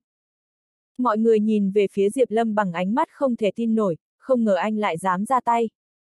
Diệp Lâm, Susan cũng bị động tác của Diệp Lâm làm cho kinh hãi, sắc mặt thay đổi lớn. Hỏng rồi, lần này phiền phức lớn rồi. Susan biết rất rõ lai lịch gia đình tạ thiếu gia. Tuy rằng bản thân anh ta chỉ là một trưởng phòng của một công ty lớn nhưng cha anh ta lại là tránh văn phòng chính phủ. Hơn nữa còn là lãnh đạo trực tiếp của cha cô ấy. Nếu đánh tạ thiếu gia chắc chắn bọn họ sẽ phải ra tòa. Huống chi hôm nay Diệp Lâm vừa mới ra tù, nếu bị bắt lại, tội nhất định sẽ nặng hơn một bậc. Diệp Lâm, chạy đi, Susan không biết phải làm sao, ý nghĩ đầu tiên của cô ấy là để Diệp Lâm trốn thoát trước để tránh đầu sóng ngọn gió. Sao lại phải bỏ chạy? Diệp Lâm thản nhiên cười, anh ta chủ động đưa mặt ra cho tôi đánh mà.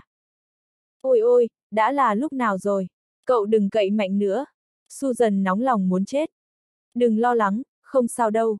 Diệp Lâm vừa an ủi Susan vừa dục người phục vụ nhanh chóng bưng đồ ăn lên. Những vị khách xung quanh thấy Diệp Lâm đánh người xong còn không hề sợ hãi mà lại bình tĩnh như vậy đều rất ngạc nhiên.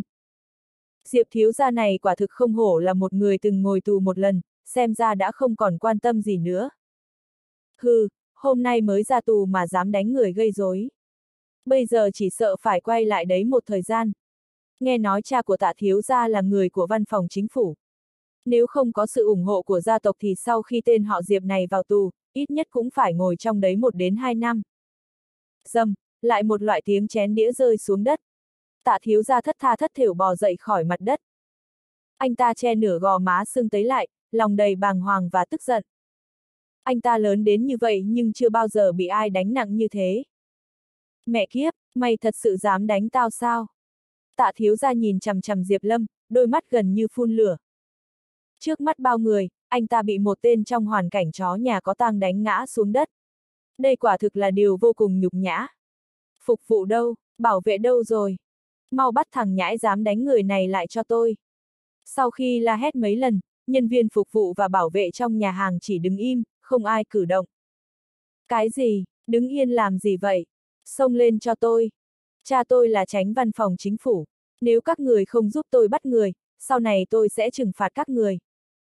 Dưới sự ép buộc và xúi dục của tạ thiếu gia, đám người phục vụ chỉ có thể dẫn theo bảo vệ xông tới.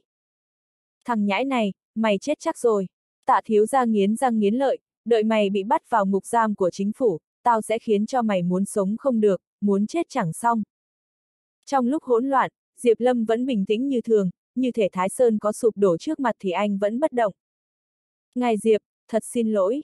Ngài đánh người ở đây, chúng tôi cũng phải chịu trách nhiệm, mong ngài hợp tác với chúng tôi. Người phục vụ hòa giải ngay tại chỗ. Anh còn nói vớ vẩn gì với nó thế? Tạ thiếu gia thúc giục, hãy nhanh chóng bắt giữ tên họ Diệp này lại. Lúc này, ngay cả những vị khách xung quanh cũng ồn ào phụ họa.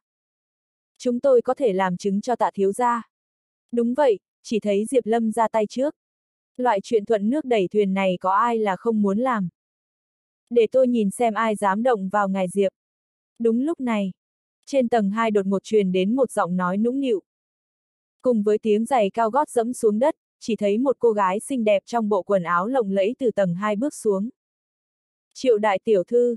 Cô Triệu Huyền Đình đây chính là cháu gái nhỏ được ông Triệu yêu thích nhất. Hiện đang là phó giám đốc của tập đoàn Triệu Thị. Nghe nói tối nay ông cụ nhà họ Triệu tổ chức đại thọ lần thứ 80 trên tầng.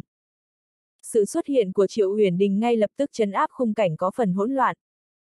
Không chỉ những vị khách có mặt tại hiện trường đều câm miệng chăm chú nhìn. Ngay cả bản thân tạ thiếu gia cũng trợn tròn mắt. Phó Giám đốc Triệu.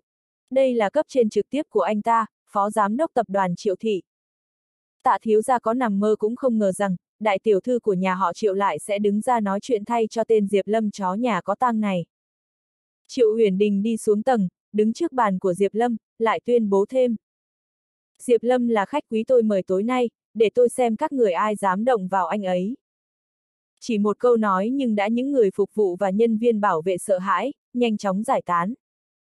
Những vị khách khác đang xem náo nhiệt vùi đầu vào bữa cơm của mình, không dám nói gì thêm. Tạ thiếu gia à? Cuối cùng, ánh mắt của Triệu Huyền Đình lại rơi vào tạ thiếu gia. Dù không rõ tại sao hai người lại có hiểm khích nhưng Diệp Lâm là khách của cô ấy nên cô ấy vẫn giữ thái độ bình tĩnh. Không, không có việc gì. Tạ thiếu gia ngượng ngùng cười. Chỉ là một hiểu lầm nhỏ thôi. Không có việc gì, tôi đi trước. Nói rồi, tạ thiếu gia không dám làm kẻ thù của nhà họ chịu nên chỉ có thể chịu thua, xám xịt bỏ đi. Tuy nhiên, sau khi bước ra khỏi tòa nhà, sắc mặt tạ thiếu gia lại dần tối sầm lại. Bị đánh ở trước mặt nhiều người như vậy, há anh ta lại thể để yên như thế ư? Đương nhiên không thể được. Sao tạ thiếu gia có thể nuốt trôi được cục tức này? Tuy rằng anh ta không dám đắc tội Triệu Huyền Đình ngay tại đấy hay là làm kẻ thù của nhà họ Triệu, nhưng tìm cơ hội để bắt Diệp Lâm thì vẫn khá dễ dàng. Tạ thiếu gia đứng bên ngoài tòa nhà, lấy điện thoại di động ra gọi cho cha mình. Cha, hãy phái vài cảnh sát tới đây hỗ trợ, con bị người ta đánh rồi. Anh Diệp, thật xin lỗi, tại tôi đến muộn. Triệu Huyền Đình nhìn Diệp Lâm tỏ vẻ xin lỗi. Tối nay là đại thọ lần thứ 80 của ông nội cô ấy, bữa tiệc diễn ra ở tầng trên. Triệu Huyền Đình mời Diệp Lâm đến đây ăn tối cái chính là muốn đưa anh đến dự tiệc đại thọ của ông nội mình, cũng để ông nội gặp anh một lần. Dù sao thì cũng nhờ có Diệp Lâm mà hôm nay cô ấy mới có thể bình an ôm tượng Phật Ngọc trở về. Ông nội yêu thích tượng Phật Ngọc đến mức không muốn rời tay. Sau khi nghe được chuyện xảy ra trên đường đi của họ, ông cụ cũng nói rằng muốn cảm ơn anh thật tốt. Anh Diệp, tối nay nhà họ triệu của chúng tôi sẽ tổ chức tiệc ở đây để chúc mừng đại thọ ông nội tôi. Ông nội tôi ở trên lầu, ông ấy cũng muốn gặp anh và đích thân cảm ơn anh. Xin hãy đi với tôi. Triệu Huyền Đình đã chủ động mời. Được nhà họ Triệu mời là vinh dự lớn nhất đối với hầu hết mọi người, bởi vì không phải ai cũng có thể chen vào vòng tròn như vậy. Những vị khách xung quanh nghe thấy lời này, không khỏi ghen tị. Đồng thời lại tò mò, mối quan hệ giữa hai người là gì? Đại thiếu gia của nhà họ Diệp chẳng phải đã bị trục xuất khỏi nhà họ Diệp sao? Tại sao đại tiểu thư của nhà họ Triệu vẫn còn định nọt lấy lòng anh như vậy? Điều này là không logic. Không cần, Diệp Lâm khách khí từ chối, tối nay tôi tình cờ gặp được một người bạn học cũ ở đây, chúng tôi ở đây dùng bữa cơm thôi, không lên quấy giày cô.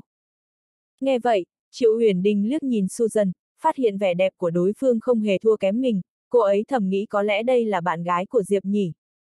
Được rồi, Triệu Huyền Đình gật đầu, cũng không cưỡng cầu nữa, anh có thể gọi bất cứ thứ gì anh muốn, tôi sẽ thanh toán hóa đơn. À, nhân tiện. Vừa nói, Triệu Huyền Đình như nghĩ tới điều gì, lấy ra một tấm thẻ khác đưa tới. Đó là một triệu tệ còn lại. Diệp Lâm liếc nhìn tấm thẻ, không nhận mà lại nghĩ đến chuyện khác. Tên tạ thiếu gia vừa rồi cô có biết không? Triệu Huyền Đình gật đầu, anh ta là trưởng bộ phận nhân sự của công ty chúng tôi. Tôi không biết tại sao vừa rồi anh ta lại đắc tội với anh. Tôi thay mặt anh ta xin lỗi anh. Số tiền này tôi không cần nữa. Diệp Lâm lại đẩy thẻ ngân hàng về phía cô ấy, nhưng tôi hy vọng cô có thể giúp tôi một việc. Anh Diệp, mời nói. Sa thải tạ thiếu ra khỏi công ty của cô, sau đó để người bạn học này của tôi thay thế vị trí trưởng phòng của tạ thiếu ra đó. Cô thấy như vậy có ổn không? Nghe vậy, Triệu Huyền Đình giật mình, rồi lại liếc nhìn Susan. Đồng thời, Susan cũng sợ hãi không thôi. Cô ấy còn chưa kịp bình tĩnh lại sau chuyện vừa xảy ra, lại nghe Diệp Lâm nói muốn thu xếp công việc cho mình. Còn thay thế vị trí của tạ thiếu gia trong công ty. Cảm giác như một giấc mơ vậy. Cô có bằng cấp gì? Có kinh nghiệm làm việc liên quan không? Cô có muốn làm việc trong công ty chúng tôi không? Triệu Huyền Đình hỏi ngắn gọn vài câu hỏi. Susan đều trả lời tất cả. Được rồi, ngày mai cô có thể đến công ty báo danh. Triệu Huyền Đình đồng ý với yêu cầu của Diệp Lâm và lấy lại thẻ ngân hàng. Không phải cô ấy không bỏ được một triệu này, mà cô ấy biết nguyên tắc làm việc của Diệp Lâm. Nếu anh đã trả lại thẻ thì anh sẽ không bao giờ nhận nữa. Vì anh Diệp là người lên tiếng nên việc nhỏ này đương nhiên không thành vấn đề gì. Cảm ơn, Diệp Lâm ra tù, cuối cùng có thể giúp đỡ Susan một chút, cũng coi như là một nỗ lực nhỏ. Sau đó, hai người lại trò chuyện thêm vài câu nữa, Triệu Huyền Đình lại quay lên tầng. Mãi đến khi Triệu Huyền Đình rời đi, trong đại sảnh yên lặng mới nghe được tiếng động nào đó. Mọi người liên tục quay lại nhìn Diệp Lâm, vẫn có chút khó tin. Đại thiếu gia nhà họ Diệp thật sự đã bị đuổi ra khỏi nhà rồi sao? Sao vẫn cảm thấy trâu bò như vậy? Ngay cả đại tiểu thư nhà họ Triệu cũng phải nể mặt anh ta. Thật sự là không thể tin được, chỉ một câu nói đã có thể khiến tạ thiếu gia bị đuổi việc. Tạ thiếu gia còn đang tưởng rằng mình đang bóp quả hồng mềm, không ngờ lần này lại đụng phải tấm sắt rồi. Mấu chốt là, vừa rồi triệu đại tiểu thư mời thằng nhãi kia lên tầng dự tiệc đại thọ của ông cụ nhưng anh ta lại từ chối thẳng thừng đấy. Thật là làm cao. Các vị khách trụng đầu ghé tai, tấm tắc lấy làm lạ. Diệp Lâm, cậu, sao cậu lại quen biết triệu đại tiểu thư thế? Susan cũng có chút kinh ngạc, cô ấy cười tâu tuét, hai người rất thân à. Cô ấy nói ngày mai bảo tôi đến công ty báo danh, không phải là nói đùa chứ. Diệp Lâm cười nói, nếu là công ty của nhà họ Triệu thì đương nhiên cô ấy sẽ không nói đùa. Ngày mai cậu cứ việc đi thôi. Trong khi bọn họ đang nói chuyện, những người phục vụ đã lần lượt bưng ra những món ăn ngon, rất nhiều món trong đó Diệp Lâm đều chưa hề gọi, hiển nhiên là do Triệu Uyển Đình đặc biệt sắp xếp. Hai người vừa dùng bữa vừa trò chuyện, ôn lại chuyện xưa. Đột nhiên lúc này lại có một loạt tiếng động huyên náo truyền đến. Ôi trời ơi, nhìn xem ai đến này. Là gia chủ của nhà họ Triệu, ông cụ Triệu. Thật đúng là ông cụ ấy. Diệp Lâm ngẩng đầu nhìn. Chỉ thấy một nhóm người đang đi từ tầng 2 xuống. Người cầm đầu là một ông cụ tóc trắng, khuôn mặt hồng hào, tinh thần quắc thước, cầm ly rượu vang đỏ dẫn đầu đám người đi về phía Diệp Lâm. Cậu chính là Diệp Lâm à? Cảm ơn cậu hôm nay đã cứu cháu gái nhỏ của tôi. Tôi đến để mời cậu một ly rượu, bày tỏ lòng biết ơn. Ông cụ nhà họ triệu lại đích thân xuống tầng để kính rượu Diệp Lâm sao. Cảnh tượng này ngay lập tức khiến tất cả những người có mặt ở đó kinh ngạc, cầm gần như rớt xuống đất. Ông cụ nhà họ triệu là người phương nào? Kiểu thân phận gì? Ông ấy từng là một trong sáu bộ trưởng của Bộ Tài chính, chức vụ nghề nghiệp hạng 2. Phụ trách đất đai, thuế má, hộ khẩu, quân nhu, tiền lương, lương thực, thu chi tài chính, v.v. Trong thời gian công tác, ông ấy còn được phong là triệu thần tài. Sau này ông ấy giã từ sự nghiệp khi đang trên đỉnh vinh quang, từ chức về quê lại gia nhập giới kinh doanh. Một tay xây dựng nên đế chế kinh doanh như tập đoàn triệu thị bây giờ. Công ty bất ngờ nổi lên và nhanh chóng trở thành một trong 100 công ty hàng đầu thế giới. Hiện nay, tài sản do nhà họ triệu nắm giữ không dám nói là giàu có bằng cả nước nhưng nhìn toàn bộ đại hạ cũng thuộc vào top 3. Khi làm quan chức, ông ấy giữ chức vụ rất quan trọng. Còn khi làm thương gia lại giàu có nhất một vùng. Trong suốt cuộc đời của ông cụ triệu tràn ngập sắc thái truyền kỳ. Hiếm có người nào có thể thành công trong cả đường làm quan chức lẫn công việc kinh doanh. Hôm nay là đại thọ lần thứ 80 của ông cụ triệu. Vốn chính là một ngày vui mừng, lại được cháu gái nhỏ tặng một bức tượng Phật bằng ngọc khiến ông cụ yêu thích không buông tay. Hơn nữa từ sau khi nhận được tượng Phật ngọc, tinh thần của ông cụ triệu ngày càng tốt lên, sắc mặt bừng sáng, bỗng như trẻ ra cả chục tuổi. Lại nghe cháu gái Triệu Huyền Đình kể về những biến cố bất ngờ trong lần tranh đoạt tượng Phật Ngọc. Tên Hắc Long Vương này thật sự là coi trời bằng vung. Ngay cả nhà họ Triệu của ta mà cũng dám lừa gạt. Xem ra chúng ta cần phải tìm người đập cho hắn tỉnh ra. Ông cụ Triệu phẫn nộ với những hành động của Hắc Long Vương, đồng thời ông ấy cũng sinh ra hứng thú lớn với Diệp Lâm đã ra tay tương trợ. Cậu nhóc nhà họ Diệp đó ư. Tai nạn xe hơi năm đó gây ồn ào huyên náo rất lớn. Thật ra ta cũng có nghe nói tới.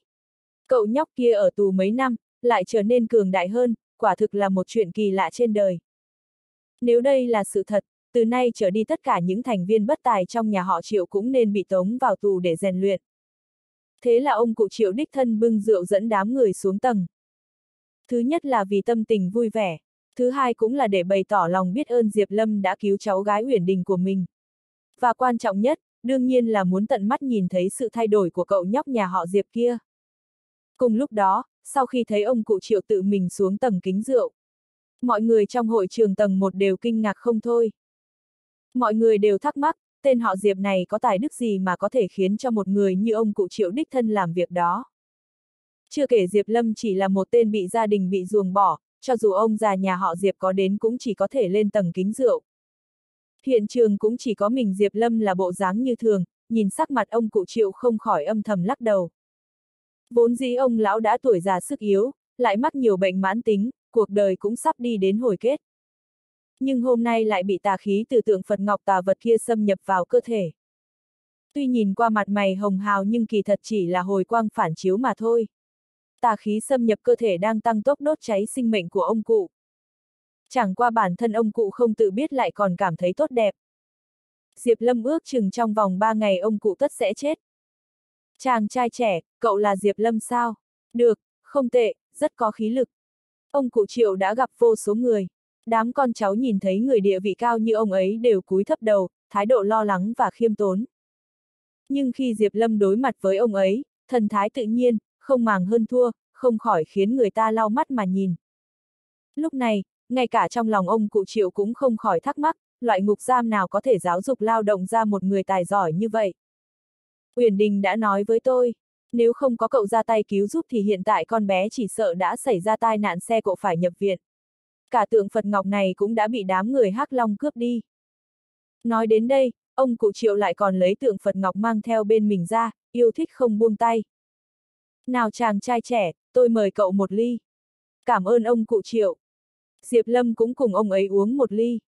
Sau khi uống rượu, ông cụ Triệu giả vờ tức giận trách cháu gái, Uyển Đình, là do cháu làm việc không chu toàn. Hôm nay là đại thọ thứ 80 của ông. Nếu tiểu Diệp tử đã đến rồi, sao cháu không mời cậu ấy lên tầng, cùng nhau ăn một bữa? Cháu đã mời rồi, Triệu Huyền Đình cười khổ nói, anh Diệp tình cờ gặp một bạn cùng lớp ở đây, muốn ăn tối cùng cô ấy nên không đi lên. Ông cụ Triệu cười nói, việc này có gì khó khăn vậy?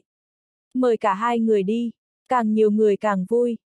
Triệu Huyền Đình mỉm cười, tất nhiên cô ấy cũng đã nghĩ đến điều đó. Tuy nhiên, so với việc đi ăn cùng một nhóm người xa lạ thì Triệu Huyền Đình nghĩ rằng Diệp Lâm sẽ sẵn sàng ở lại trò chuyện với bạn cùng lớp hơn phải không? Đó là lý do tại sao cô ấy không cưỡng cầu. Hai vị, ông cụ Triệu lại đưa ra thiệp mời, đêm nay là đại thọ lần thứ 80 của tôi. Nếu đã đến đây thì cùng nhau lên dự đi. Mọi người có mặt thấy ông cụ Triệu lại đích thân mời đều phát điên vì ghen tị. Vinh dự này không phải ai cũng có được. Tên họ Diệp này đúng là dẫm vào vận cứt chó rồi. Cũng không biết hắn ta đã giúp được gì cho nhà họ Triệu.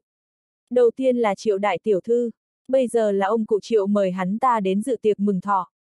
Chắc bây giờ hắn ta sẽ không từ chối nữa chứ. Mặc dù bị trục xuất khỏi nhà họ Diệp nhưng lại ôm lấy nhà họ Triệu, có thể coi là nhờ họa được phúc. Khi Susan nhận được lời mời riêng từ ông cụ Triệu, tay rằng được thơm lây nhờ Diệp Lâm những cô ấy vẫn thấy rất hãnh diện, đồng thời kích động không thôi. Đầu tiên, cô ấy được tập đoàn Triệu Thị cho chúng tuyển đặc cách, sau đó lại được tham dự tiệc mừng thọ của người đứng đầu nhà họ Triệu. Kể từ khi gặp Diệp Lâm, cô ấy cảm giác như cuộc đời của mình như được lật sang trang khác vậy. Đúng lúc Susan định đứng dậy đồng ý. Không ngờ Diệp Lâm lại từ chối trước. Không cần, tôi không bao giờ ăn cùng người sắp chết. Cái gì? Người sắp chết. Lời này vừa nói ra, bầu không khí tại hiện trường lập tức thay đổi. Trong một khoảnh khắc, lặng ngắt như tờ. Người sắp chết. Vẻ mặt của ông cụ Triệu cũng trở nên vô cùng u ám. Lời này của cậu là ám chỉ tôi à? Diệp Lâm không trả lời, hiển nhiên là đồng ý. Hừ. Ông cụ Triệu không nói gì nữa, phất tay áo bỏ đi. Thằng nhãi này, mày nghĩ mày là ai? Sao mày dám nói bậy vào ngày sinh nhật của ông cụ Triệu chứ? Mọi người trong nhà họ Triệu cũng tức giận, chỉ vào Diệp Lâm mắng chửi, sau đó đi theo ông cụ lên tầng. Ông nội, anh Diệp, ôi! Triệu Huyền Đình không ngờ rằng mọi chuyện lại thay đổi đột ngột, biến thành như vậy. Cô ấy thực sự muốn tìm hiểu tại sao Diệp Lâm lại nói như thế. Nhưng lại thấy ông nội đang giận lắm nên phải chạy tới an ủi và giải thích. Xôn xao. Khi mọi người trong nhà họ Triệu rời đi, hiện trường lập tức náo động. Thằng nhãi này chết chắc rồi. Chắc không phải hắn ta điên rồi chứ. Dám nói những lời như vậy vào ngày sinh nhật của ông cụ Triệu sao. Nếu ông cụ thật sự tức giận thì đừng nói là tên họ Diệp này, thậm chí toàn bộ nhà họ Diệp cũng sẽ phải chịu thiệt. Lúc này, Susan cũng phục hồi lại tinh thần, trên mặt cô ấy hiện lên vẻ hoảng sợ và trai dối. Diệp, Diệp Lâm, lời cậu vừa nói là có ý gì? Cậu có thủ oán gì với nhà họ Triệu à? Diệp Lâm cười nói, đương nhiên không có thủ oán gì, chỉ là nói sự thật thôi. Quên đi, chúng ta đi thôi. Cả hai vừa bước ra ngoài đã bị hai cảnh sát mặc sắc phục chặn lại. Anh chính là Diệp Lâm. Vừa rồi có người báo cảnh sát rằng anh đánh người, về đồn khai báo với chúng tôi. Không ổn. Nhìn thấy hai người này, Susan lập tức kinh ngạc. Vừa rồi còn lo lắng chuyện của nhà họ Triệu, không ngờ lại gặp phải phiền phức ngay trước mắt. Hiển nhiên, người báo án chắc chắn là tạ thiếu gia kia. Cha của tạ thiếu gia chính là tránh văn phòng chính phủ. Hai người này nhất định là do cha tạ thiếu gia phái đến. Một khi thực sự bị bắt vào đó thì dù có lý cũng không thể giải thích nổi. Huống chi Diệp Lâm lại là người đánh người trước, càng khó đối phó. Hai anh à, chuyện này có chút hiểu lầm. Susan cũng muốn giải thích giúp. Có nhầm lẫn hay không, chúng tôi không quan tâm. Dù sao có người báo cảnh sát, chúng tôi chỉ có trách nhiệm bắt người thôi. Nếu là hiểu lầm, sau khi điều tra tất sẽ trả lại sự trong sạch cho cậu ta. Trên có ba sở, dưới có quan chức thanh liêm, chẳng lẽ còn sợ bị oan sao? Hai người không khỏi muốn dùng vũ lực bắt giữ người. Susan, cậu về nhà trước đi. Diệp Lâm bình tĩnh nói, tôi đi cùng bọn họ sau đó giải thích rõ ràng. Cậu yên tâm, sẽ không có chuyện gì. Thấy Diệp Lâm vẫn chưa nhận thức được tính nghiêm trọng của vấn đề, Susan càng lo lắng hơn. Cô thầm nghĩ, làm sao có thể ổn được, đây là một cái bẫy do cha con tạ thiếu ra răng ra dành riêng cho cậu. Nếu bị bắt thì khó mà thoát ra được. Việc nhận một đòn chí mạng là điều khó tránh khỏi. Nhưng những lời này Susan không thể nói rõ được, nếu không thậm chí cô ấy cũng có thể bị bắt. Cuối cùng, Susan chỉ có thể bất lực nhìn Diệp Lâm bị đưa lên xe tuần tra, đưa đến văn phòng chính phủ. Làm sao bây giờ, làm sao bây giờ? Susan lo lắng đến mức vô thức đi xoay vòng quanh. Cô ấy rất muốn quay lại khách sạn và nhờ nhà họ Triệu giúp đỡ. Nếu như nhà họ Triệu chịu giúp thì chỉ cần một cú điện thoại, nhà họ tạ ra cũng không dám không thả người. Thế nhưng, lời nói vừa rồi của Diệp Lâm đã đắc tội nặng với nhà họ Triệu. Bây giờ rơi vào kết cục như thế này, nhà họ Triệu có lẽ cũng không giúp nữa. Ôi, xem ra chỉ có thể nhờ cha giúp đỡ. Bố của Susan cũng làm việc trong chính phủ nhưng ông ấy chỉ là một nhân viên nhỏ. Dù có rất ít hy vọng nhưng Susan chỉ có thể về nhà trước, xem liệu cha cô ấy có thể nhờ quan hệ được không. Lại nói phía bên kia. Diệp Lâm ngồi lên xe tuần tra, nhanh chóng bị áp giải đến văn phòng chính phủ. Vào nhanh lên. Hừ, dám đánh tạ thiếu gia, chờ lát nữa sẽ có quả ngon cho mày ăn. Một nhóm ba người vừa bước vào từ cửa bên. Đột nhiên, một chàng trai trẻ từ phía đối diện đi tới. Ui, mấy anh lớn, đã muộn thế này rồi còn bận rộn gì thế? Hai người kia nhìn thấy, vội vàng cúi đầu chào hỏi, cảnh vệ, chào buổi tối. Chúng tôi bắt được một nghi phạm đánh người, đang chuẩn bị đưa đi thẩm vấn. Thiếu gia kia gật đầu nói, được, nhanh đưa vào đi. Khi hai bên lướt qua nhau, vị thiếu gia kia tò mò lướt nhìn nghi phạm một cái, tức thì dưới chân lảo đảo, suýt vấp ngã vì kinh ngạc. Anh Hùng Diệp, chính là anh sao? Thiếu gia bước lên một bước, đứng trước mặt Diệp Lâm. Ha ha, hoa thiếu gia, đã lâu không gặp. Diệp Lâm cũng đã sớm nhận ra thiếu gia kia chính là hoa quốc đống buổi chiều chờ anh về. Ha ha, anh Hùng, quả nhiên là anh. Hoa quốc đống mừng rỡ vô cùng, không ngờ lại gặp lại sớm như vậy. Hai người kia nhìn thấy cảnh này, không khỏi kinh ngạc, không ngờ nghi phạm lại quen biết với cảnh vệ. Chuyện này phiền phức rồi. Này, anh Hùng, xảy ra chuyện gì thế? Chào hỏi mấy câu, Hoa Quốc đống vội vàng hỏi nguyên nhân. Ồ, chuyện là thế này. Diệp Lâm thành thật nói, vừa rồi có người tìm tới tôi, chủ động đưa mặt ra để cho tôi đánh. Vậy nên tôi đã đánh. Không ngờ anh ta lòng dạ hẹp hòi, lại vì chuyện nhỏ này mà báo cảnh sát đến bắt tôi. Lúc đầu Hoa Quốc Đống rất có hứng thú nghe, còn thầm nghĩ anh hùng vẫn như trước, không biết là ai xui xẻo như vậy rơi vào trong tay anh. Nhưng khi nghe tin người bị Diệp Lâm đánh thực chất là con trai của tránh văn phòng. Mà người đưa ra quyết định bắt Diệp Lâm đến đây mà không trải qua quy trình phê duyệt chính quy cũng là tránh văn phòng tạ. Hoa Quốc Đống không khỏi tức giận, tránh văn phòng tạ này thật to gan. Dám lấy việc công trả thù riêng, lợi dụng quyền lực để tư lợi. Tôi chắc chắn sẽ nói với cha tôi về chuyện này, đình chỉ công việc của ông ta. Sau đó, Hoa Quốc Đống nói với hai người, trở lại nói với tránh văn phòng tạ rằng người này do tôi bảo vệ. Nếu có thắc mắc thì hãy đến gặp tôi. Vâng, cảnh vệ, thấy Hoa Quốc Đống đã nói như vậy, hai người này cũng không dám nói thêm nữa, đành phải thả anh đi. Anh Hùng bất giận, tôi đưa anh về trước. Hoa Quốc Đống lại đích thân hộ tống Diệp Lâm ra ngoài. Buổi chiều, Hoa Quốc Đống ngưỡng mộ thân thủ của Diệp Lâm, trong lòng tràn đầy hâm mộ. Mà bây giờ, lại có thể giúp Diệp Lâm một việc nhỏ nên thấy rất vui vẻ. Vẫn quay lại biệt thự ngự long sao? Khi hai người lên xe, hứa quốc đông hỏi. Không, Diệp Lâm báo tên một địa phương khác, đi biệt thự phong hoa. Hoa, anh Hùng, chỗ anh đến, chỗ sau lại xa hoa hơn chỗ trước đấy. Hoa quốc đống kinh ngạc nói. Biệt thự phong hoa nằm dưới chân núi phong hoa. Khu biệt thự được xây dựng dựa núi gần sông, là một khu giàu có nổi tiếng ở Yến Kinh. Biệt thự Ngự Long trước đó lấy ra so sánh quả thực chính là một khu ổ chuột. Ước chừng nửa giờ sau, Hoa Quốc đống lái xe tới khu biệt thự có núi bao quanh. Anh Hùng, đây thật sự là nhà của anh sao? Hoa Quốc đống cũng xuống xe, đứng dưới chân núi, kinh ngạc nhìn từng khu biệt thự cao cấp, kinh ngạc cảm thán không thôi, anh sống ở đâu? Diệp Lâm nhìn chung quanh, nhớ tới tam sư phụ đã nói biệt thự trên cao nhất là của ông ấy. Vì vậy, Diệp Lâm thuận tay chỉ vào nói, chắc là cái kia. Cái kia sao? Hoa Quốc Đống cũng chú ý đến biệt thự đơn lập tựa như cao ngất trên mây, chợt nghĩ, đây không phải là Vân Thượng Phong Hoa từng là nơi ở của người giàu nhất thế giới sao? Không biết Diệp Lâm nói đùa hay nói thật. Cảm ơn. Sau khi Diệp Lâm vẫy tay tạm biệt Hoa Quốc Đống, anh một mình đi đến sườn núi. Khi Hoa Quốc Đống đang lái xe về, đột nhiên nhận được một cuộc gọi khác từ Triệu Huyền Đình. Triệu đại tiểu thư, thật xin lỗi. Tối nay tôi trực ca nên không thể tham dự tiệc mừng thọ của ông nội cô. Ngay khi cuộc gọi được kết nối, hứa quốc đống đã bày tỏ lời xin lỗi, thậm chí còn muốn chúc mừng đại thọ ông cụ Triệu qua điện thoại. Tuy nhiên, Triệu Huyền Đình lo lắng hỏi, Hoa thiếu gia, anh có biết Diệp Lâm ở đâu không? Vừa rồi anh ấy đang ăn ở đây nhưng khi xuống lầu tìm anh ấy đã biến mất. Anh có thể giúp tôi kiểm tra camera giám sát gần đó được không? Nhìn xem Diệp Lâm đi đâu. Này, không cần kiểm tra giám sát, cô tìm đúng người rồi. Hoa Quốc Đống cười nói, tôi vừa đưa anh Hùng về nhà, có chuyện gì thế, muộn thế này, cô còn đi tìm anh Hùng làm gì? Chẳng lẽ Hắc Long lại sai người đến gây sự và cướp tượng Phật Ngọc? Không thể nào, trong thành phố ở Yến Kinh, hẳn là Hắc Long không dám tự phụ như vậy. Diệp Lâm vừa rồi nói mấy câu kỳ quái.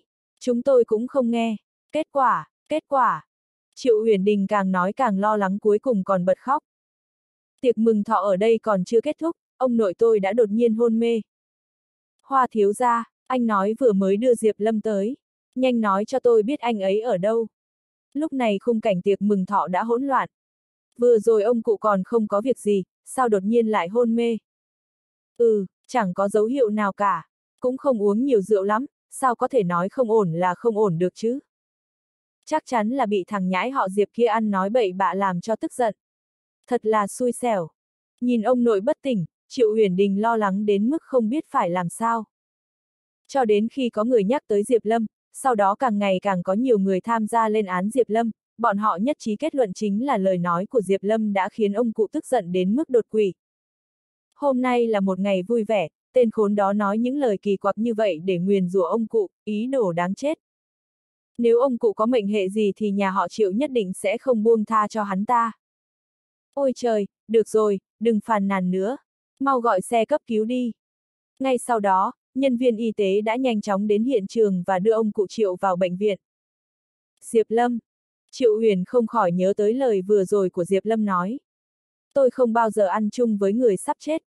Người sắp chết. Điều đó có nghĩa là gì? Chẳng lẽ anh ấy đã nhìn ra chuyện gì sao? Hay là, Anh ấy có cách nào để cứu ông nội? Triệu Huyền Đình rất hối hận vì lúc đó không hỏi rõ ràng nhưng khi cô ấy đi xuống tầng dưới tìm người thì không thấy Diệp Lâm đâu cả. Vì vậy, Triệu Huyền Đình đã gọi điện cho hứa quốc đống và nhờ anh ta giúp kiểm tra camera giám sát gần đó để tìm ra tung tích của Diệp Lâm. Không ngờ lại trùng hợp như vậy, Hoa Quốc đống vừa đưa Diệp Lâm về nhà. Biệt thự phong hoa sao? Triệu Huyền Đình muốn rời đi ngay lập tức để tìm Diệp Lâm. Triệu đại tiểu thư, tôi nghĩ tốt nhất cô đừng đến đây. Lúc này, sau khi hiểu rõ đại khái nội tình sự việc, Hoa Quốc đống ở đầu bên kia điện thoại bèn khuyên nhủ, cho dù cô đến gặp Diệp Lâm cũng có ích gì. Anh hùng chỉ đánh nhau tương đối lợi hại thôi, chắc không hiểu gì về y học cả. Chẳng thà cô đến bệnh viện trước, xem bệnh tình của ông cụ đi. Hoa Quốc Đống lo lắng rằng nếu như tối nay ông cụ xảy ra chuyện gì mà Triệu Huyền Đình đi đến đây thì có khả năng sẽ không gặp được ông cụ lần cuối. Hôm nay muộn quá rồi, cho dù cô tới đây, Diệp Lâm cũng chưa chắc sẽ gặp cô. Hơn nữa tôi cũng không biết cụ thể Diệp Lâm ở biệt thự nào. Như vậy thì sao, chờ ngày mai tình trạng của ông nội cô ổn định, tôi sẽ cùng cô đi tìm Diệp Lâm hỏi cho rõ. Nghe vậy, Triệu Huyền Đình cũng cảm thấy lời nói của hứa quốc đống có lý. Cân nhắc ưu tiên, tốt nhất là nên đến bệnh viện chăm ông nội trước, ngày mai đi tìm Diệp Lâm cũng không muộn. Nhân tiện, Hoa Quốc đống lại nhắc nhở, cô cũng biết anh Hùng là người như thế nào. Anh ấy sẽ không giúp không công, cô nên nghĩ xem ngày mai đến thăm hỏi nên chuẩn bị quà gì là vừa. Đúng vậy, Triệu Huyền Đình đột nhiên nghĩ ra, đúng là cô ấy không thể đi hỏi người khác mà đi tay không được. Vậy nên chuẩn bị thứ gì chứ? Cũng không thể lại đưa thêm tiền nữa chứ. Diệp Lâm vừa rồi mời bạn cùng lớp đi ăn tối, còn nhờ tôi giúp thu xếp công việc. Triệu Huyền Đình nhắc tới chuyện này. Không phải vừa vặn sao? Hoa Quốc đống cười nói, cô đã giúp đỡ anh Hùng, đổi lại ngày mai có thể lại cầu xin anh Hùng giúp đỡ. Được, Triệu Huyền Đình lập tức gọi điện, suốt đêm sắp xếp cho Susan nhận chức ở công ty. Cùng lúc đó, tại sảnh văn phòng chính phủ, hai cha con tạ thiếu gia đang chờ cảnh sát bắt Diệp Lâm đến để thẩm vấn. Kết quả là đợi mãi nhưng không thấy Diệp Lâm đâu. Người đâu rồi? Người mà tôi để cho các cậu bắt đâu rồi? Cha của tạ thiếu gia là tạ An gọi điện cho viên cảnh sát vừa được cử đi bắt người thì mới biết được rằng người đó được được cảnh vệ đưa đi. Cảnh vệ sao? Tạ thiếu gia rất ngạc nhiên, không ngờ thằng nhãi họ Diệp đó lại có mạng lưới quan hệ rộng rãi như vậy. Không chỉ có đại tiểu thư nhà họ Triệu mà còn cả đại thiếu gia hoa quốc đống của tỉnh trưởng Hoa cũng biết anh ta. Mày đã chọc vào người nào chứ? Tạ An cũng có chút khẩn trương, sao lại quen biết với cảnh vệ? Nếu cảnh vệ điều tra chuyện này, e rằng ngay cả tránh văn phòng Tạ An cũng phải ăn không hết gói đem đi đấy. Đúng lúc Tạ Thiếu Gia còn đang lúng túng thì đột nhiên công ty cũng gọi điện đến. Kỳ lạ, sao nửa đêm công ty lại gọi điện? Tạ Thiếu Gia thắc mắc, có phải tăng ca không? Trưởng phòng Tạ, xin lỗi vì đã làm phiền anh muộn thế này. Người kia bình tĩnh nói, tôi rất tiếc phải thông báo với anh rằng ban giám đốc đột nhiên đưa ra quyết định, anh đã bị sa thải khỏi công ty. Cái, cái gì, tạ thiếu gia giật mình, cậu nhắc lại lần nữa. Anh đã bị sa thải, tôi không biết lý do cụ thể, ngày mai anh có thể đến thu dọn đồ đạc. Dầm. Điện thoại di động của tạ thiếu ra rơi xuống đất, tay chân anh ta lạnh ngắt. Sao vậy? Tạ An thấy con trai mình có vẻ kỳ lạ bèn vội vàng hỏi. Con, con bị sa thải khỏi công ty. Tạ thiếu ra lẩm bẩm một mình, chuyện quái gì đang xảy ra vậy? Sao lại có chuyện này chứ? Bốp! Tạ An tát một cái vào mặt con trai khiến anh ta ngã xuống đất. Đồ khốn nạn, mày còn hỏi tại sao? Đây rõ ràng là do mày đã đắc tội với người không nên đắc tội, cũng không có khả năng đắc tội. Rất có thể chính là tên Diệp Lâm đêm nay chúng ta muốn đi bắt. Làm không tốt thì chính tao cũng bị mày hại chết. Đúng lúc này, bên ngoài hội trường lại ầm ĩ một trận. Sếp à!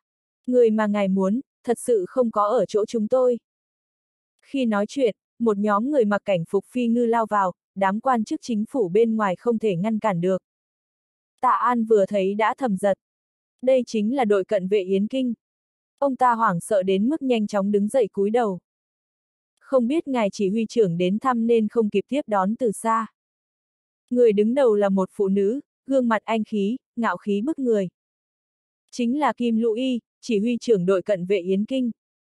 Tránh văn phòng tả Kim Lũ Y lạnh lùng nói, nghe nói ông đã bắt được một tên tội phạm tên là Diệp Lâm. Người đâu, giao ra đây. Từ nay trở đi, toàn bộ hồ sơ vụ án của người này sẽ được giao cho chỉ huy trưởng của chúng tôi xét xử. Tạ An vừa nghe thấy vậy, lại đến muốn người ư. Đầu tiên là cảnh vệ đích thân thả người, tiếp theo ngay cả chỉ huy trưởng đội cận vệ Yến Kinh cũng đích thân đến đòi người. Người tên Diệp Lâm này là ai? Mạng lưới quan hệ rộng như vậy. Tạ An càng nghĩ càng sợ hãi, không biết lần bắt giữ ngẫu nhiên này lại chọc phải tổ ong vò vẽ lớn như vậy, mồ hôi lạnh bất giác ướt cả phía sau lưng. Ngài chỉ huy tha mạng, tôi đã thả cậu ta đi rồi. Là hoa quốc đống, hoa cảnh vệ tự mình thả cậu ta đi. Tôi không dám làm nữa. Tôi không dám làm nữa. Được người thả đi sao? Kim Lũ Y nghe vậy hơi cau mày. Cô ta cảm thấy khó chịu nhưng lại không thể phát tác được. Diệp Lâm, lần này coi như mày may mắn, lần sau đừng để rơi vào tay tao. Đi thôi, Kim Lũ Y quay người dẫn cấp dưới rời đi. Tạ An sợ hãi hồi lâu mới bỏ dậy khỏi mặt đất, sau đó vừa tay đấm chân đá con trai mình. Xem mày đã gây ra phiền phức lớn gì kìa, thậm chí còn kinh động cả chỉ huy trưởng đội cận vệ Yến Kinh. Mày muốn hại chết tao, xem tao có đánh chết thằng khốn kiếp như mày không.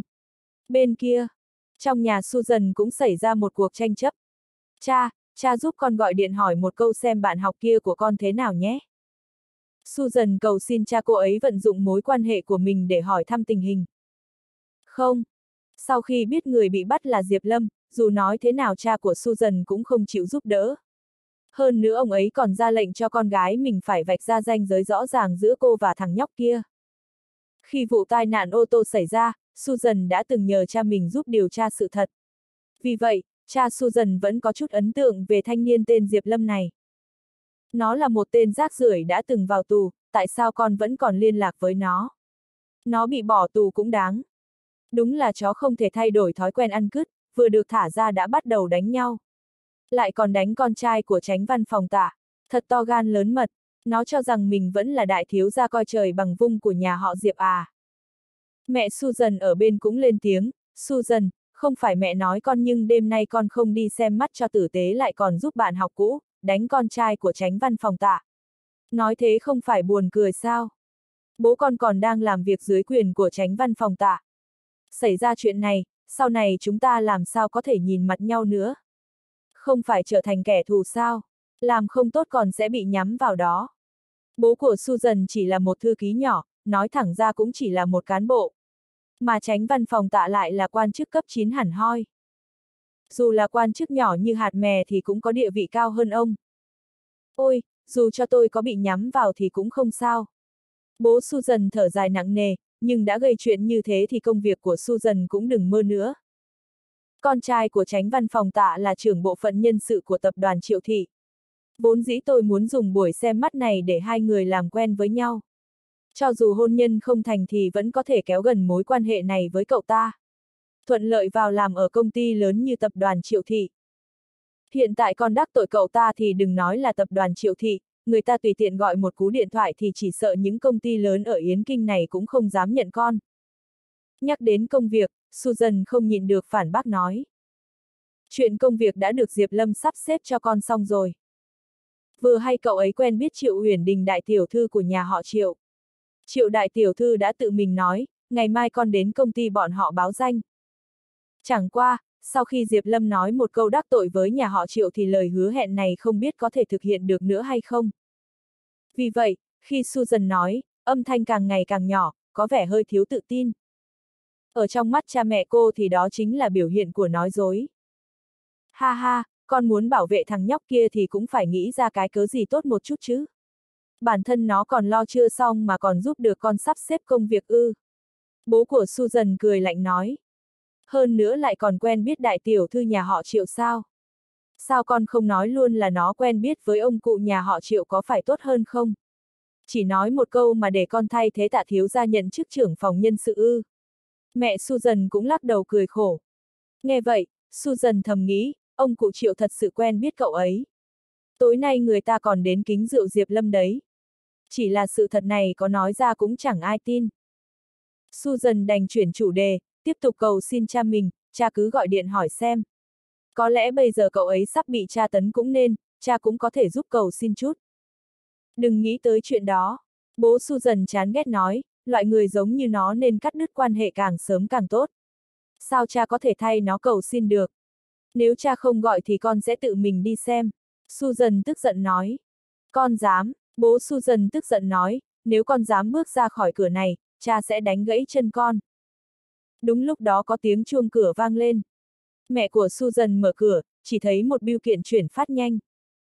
Kỳ quái, muộn như vậy rồi, còn ai sẽ gửi chuyển phát nhanh nhỉ? Khi mở biêu kiện chuyển phát nhanh ra, gia đình ba người đều sợ ngây người. Hóa ra đó là một thông báo tuyển dụng, đồng phục làm việc và thẻ làm việc cũng được gửi đến. Bố của Susan mở thông báo tuyển dụng ra, vừa thấy đã sợ ngây người. Thông báo tuyển dụng từ tập đoàn Triệu Thị. Vị trí lại còn là trưởng phòng nhân sự.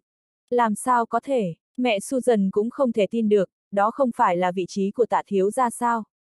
Đây là một trò đùa sao. Bố của Susan lắc đầu nói, bên trên có con dấu chính thức của tập đoàn Triệu Thị, làm sao có thể làm giả. Ai dám tùy tiện làm giả con dấu chính thức, như thế là phạm pháp. Sau đó, hai vợ chồng đồng thời nhìn sang con gái mình, mặc dù không thể tin được nhưng sự thật lại thắng lời nói. Susan, con, thật sự là được tập đoàn triệu thị tuyển dụng sao? Susan nhìn vào thông báo tuyển dụng, lộ ra nụ cười hiểu rõ.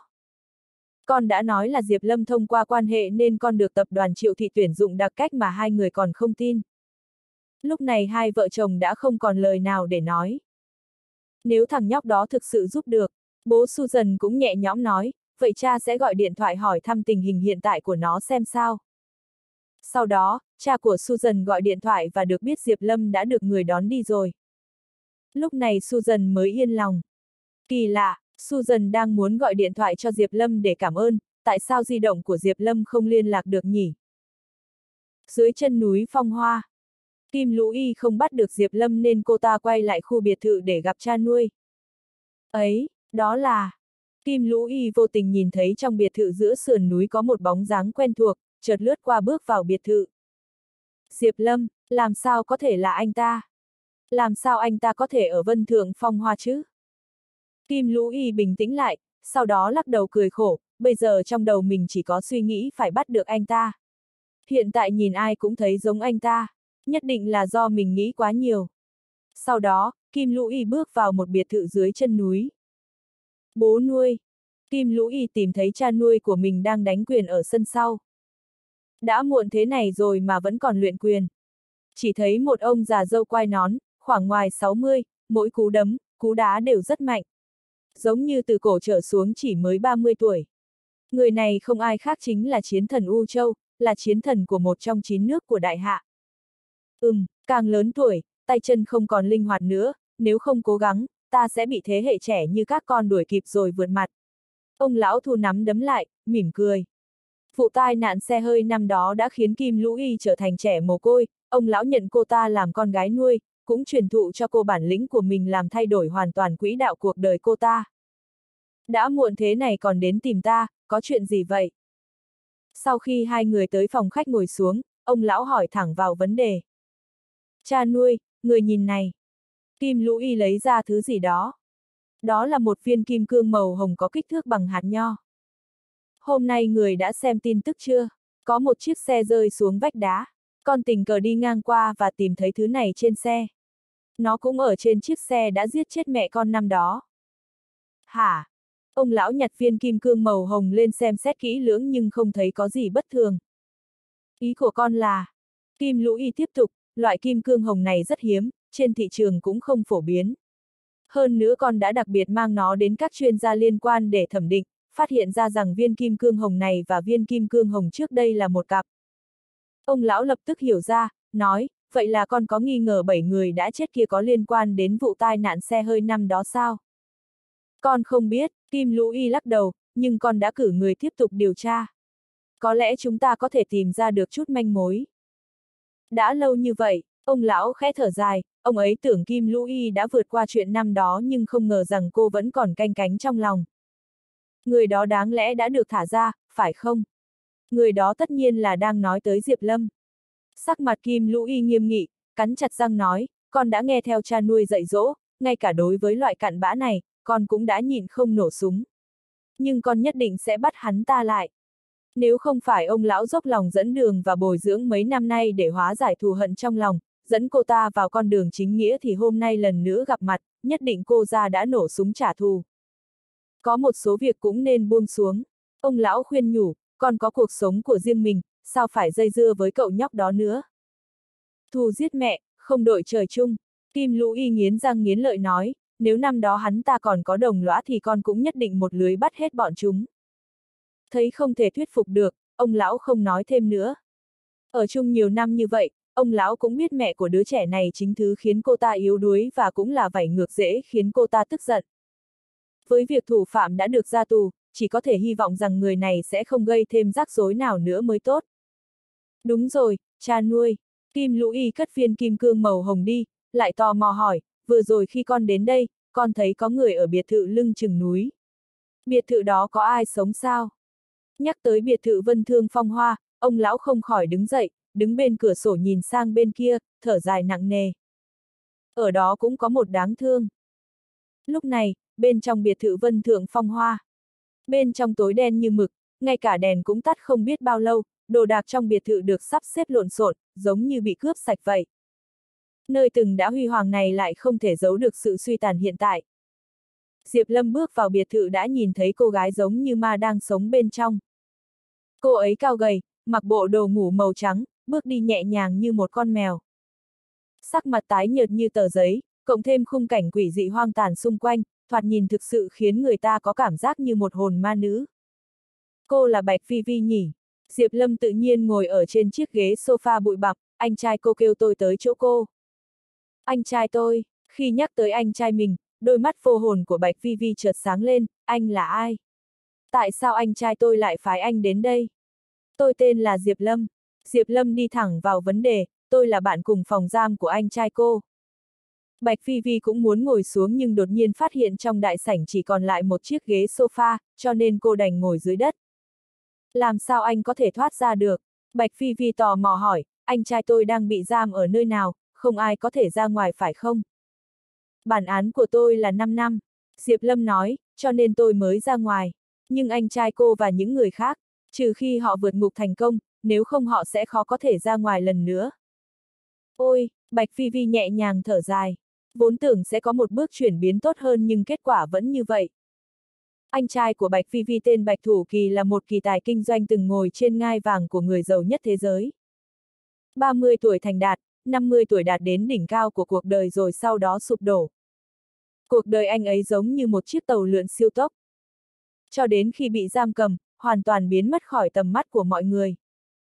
Khi Diệp Lâm ở trong tù, anh và Bạch Thủ Kỳ vừa là thầy vừa là bạn, bởi vì tuổi của Bạch Thủ Kỳ không nhiều lắm, chỉ mới 40 tuổi. Điều duy nhất Bạch Thủ Kỳ không thể yên lòng là em gái cùng cha khác mẹ kém anh ấy 20 tuổi. Ngoài việc hy vọng Diệp Lâm có thể giúp đỡ mình và chăm sóc em gái thật tốt thì Bạch Thủ Kỳ còn yêu cầu Diệp Lâm một lần nữa khôi phục lại đế chế kinh doanh của mình, đưa nó trở lại thời kỳ đỉnh cao. Tôi sẽ giúp các người Đông Sơn tái khởi. Diệp Lâm nói, đây cũng là tâm nguyện của anh trai cô. Tuy nhiên, phản ứng của Bạch Vi Vi với chuyện này rất bình thường. Vô dụng, Bạch Vi Vi bình tĩnh nói, có đứng lên lại cả trăm lần cũng vô ích thôi. Anh có biết tại sao anh trai tôi thất bại không? Tại sao? Trên thực tế, nguyên nhân đã được Bạch Thủ Kỳ tóm tắt vô số lần. Bởi vì anh trai của tôi không có chỗ dựa. Bạch Phi Vi nói, anh trai của tôi quả thực đã gây dựng sự nghiệp từ hai bàn tay trắng. Mọi thứ anh ấy tạo ra, cho dù huy hoàng lộng lẫy đến đâu, cũng chỉ là một tòa lâu đài trên không. Hóa ra cô lo lắng chuyện này ư. Diệp Lâm mỉm cười, đây chỉ là một trong rất nhiều nguyên nhân thất bại. Không cần lo lắng, hiện tại các người đã có. Chỗ dựa ở đâu, Bạch Phi Vi cuối cùng cũng có được chút khí lực. Ngay tại chỗ này, Diệp Lâm kiên định trả lời, từ nay trở đi, tôi sẽ là chỗ dựa của các người. Nghe được lời này, Bạch Phi Vi thất vọng không nói nên lời. Cô ấy vốn tưởng rằng anh trai mình sẽ phái đến một thế lực mạnh mẽ nào đó nhưng cô không ngờ rằng hóa ra chỉ là một kẻ khoác lác. Thấy đối phương không tin, Diệp Lâm cũng không nói thêm gì, sau này cô ấy sẽ hiểu. Cô vẫn luôn ở chỗ này sao? Diệp Lâm đứng dậy kiểm tra, phát hiện đèn đều hỏng, sao nơi này lại biến thành như thế này? Anh trai cô không phải nói mọi thứ trong biệt thự này đều được bảo vệ sao? Anh ấy nghĩ rằng cô ở chỗ này chắc là không quá tệ. Nhưng không ngờ cuộc sống của Bạch Phi Vi ở đây lại khốn khổ như vậy. Anh sẽ sớm biết thôi. Bạch Phi Vi cũng không buồn giải thích thêm. Cô ấy từng chứng kiến sự trỗi dậy, cũng chứng kiến sự sụp đổ của nơi đây. Như thể cô ấy đã nhìn thấu thế giới của con người, như thể không còn quan tâm đến mọi thứ xung quanh. Lúc này, đột nhiên có tiếng động ở cửa. Có người đến ư. Diệp Lâm liếc mắt nhìn ra ngoài. Chỉ thấy hơn 10 người tụ tập ngoài cửa. Người cầm đầu là một người đàn ông trung niên, chỉ huy hai bên trái phải.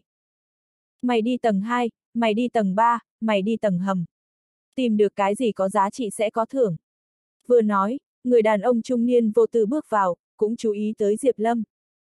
Kinh ngạc nói, ai chà, tôi đến muộn rồi. Hôm nay lại có người đến trước một bước ư. Người anh em, có tìm được bảo bối gì không? Thấy thế, Diệp Lâm cuối cùng cũng hiểu được mọi chuyện. Chẳng trách nơi này trông như bị cướp bóc, một đống bừa bột, rất nhiều đồ vật cũng bị hỏng. Hóa ra thật sự có kẻ giống như trộm cướp, đến nơi đây để cướp bóc sao? Họ là ai? Diệp Lâm khẽ cao mày nhìn đám người đang lục lọi xung quanh. Là chủ nợ.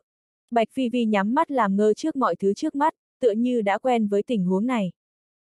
Họ đầu tư rất nhiều tiền vào công ty của anh trai tôi. Sau khi công ty bị phá sản, tài sản bị tịch thu, không để lại gì cả. Họ không tìm thấy anh trai tôi nên cuối cùng họ cũng đến tìm tôi để lấy thứ gì đó gán nợ. Diệp Lâm tức giận nói, vậy tại sao cô không gọi cảnh sát? Không có ai quan tâm đến chuyện đó à? Không sao đâu, Bạch Phi Vi vẫn tỏ ra thái độ thờ ơ, thiếu nợ trả tiền là chuyện đương nhiên, nợ của anh trai chính là nợ của tôi, bọn họ muốn gì thì cứ để bọn họ tùy ý lấy. Diệp Lâm thấy thế cũng không tiện phát tác, chỉ đành thờ ơ lạnh nhạt nhìn mọi chuyện diễn ra. Bởi vì cướp bóc quá nhiều lần nên mặc dù người đàn ông trung niên mang theo rất nhiều người cũng không tìm được thứ gì có giá trị nữa, trong lòng không khỏi có chút khó chịu. Mẹ kiếp, sao cựu nhà giàu nhất thế giới lại nghèo đến không xu dính túi thế này? Một chút nước lèo cũng không vắt ra được. Nhóc con, có phải còn có bảo vật gì đáng giá bị em giấu đi rồi không? Nói, rốt cuộc em giấu ở đâu? Bạch Phi Vi bình tĩnh đáp, các người thích thứ gì thì lấy thứ đó. Tất cả đồ của tôi đều ở đây. Người đàn ông trung niên đứng trong bóng tối, nhìn chằm chằm vào Bạch Phi Vi, giống như một con thú hung dữ đang nhìn chằm chằm vào con mồi. He he, thế mà lại không phát hiện ra rằng em gái của Bạch Thủ Kỳ lớn lên lại khá xinh đẹp. Nếu cho ăn diện thêm một chút, chắc chắn sẽ là một mỹ nhân. Nhóc con, em là em gái của Bạch Thủ Kỳ hay là con gái ngoài giá thú của anh ta? Bạch Phi Vi không để ý tới lời này, tiếp tục lặp lại, muốn lấy gì thì lấy, đừng làm phiền tôi. Người đàn ông trung niên cười tâu tuét, vậy nếu tôi muốn dùng em để trả nợ thì sao? Nghe vậy, Bạch Phi Vi chợt giật mình, thân thể không khỏi run lên.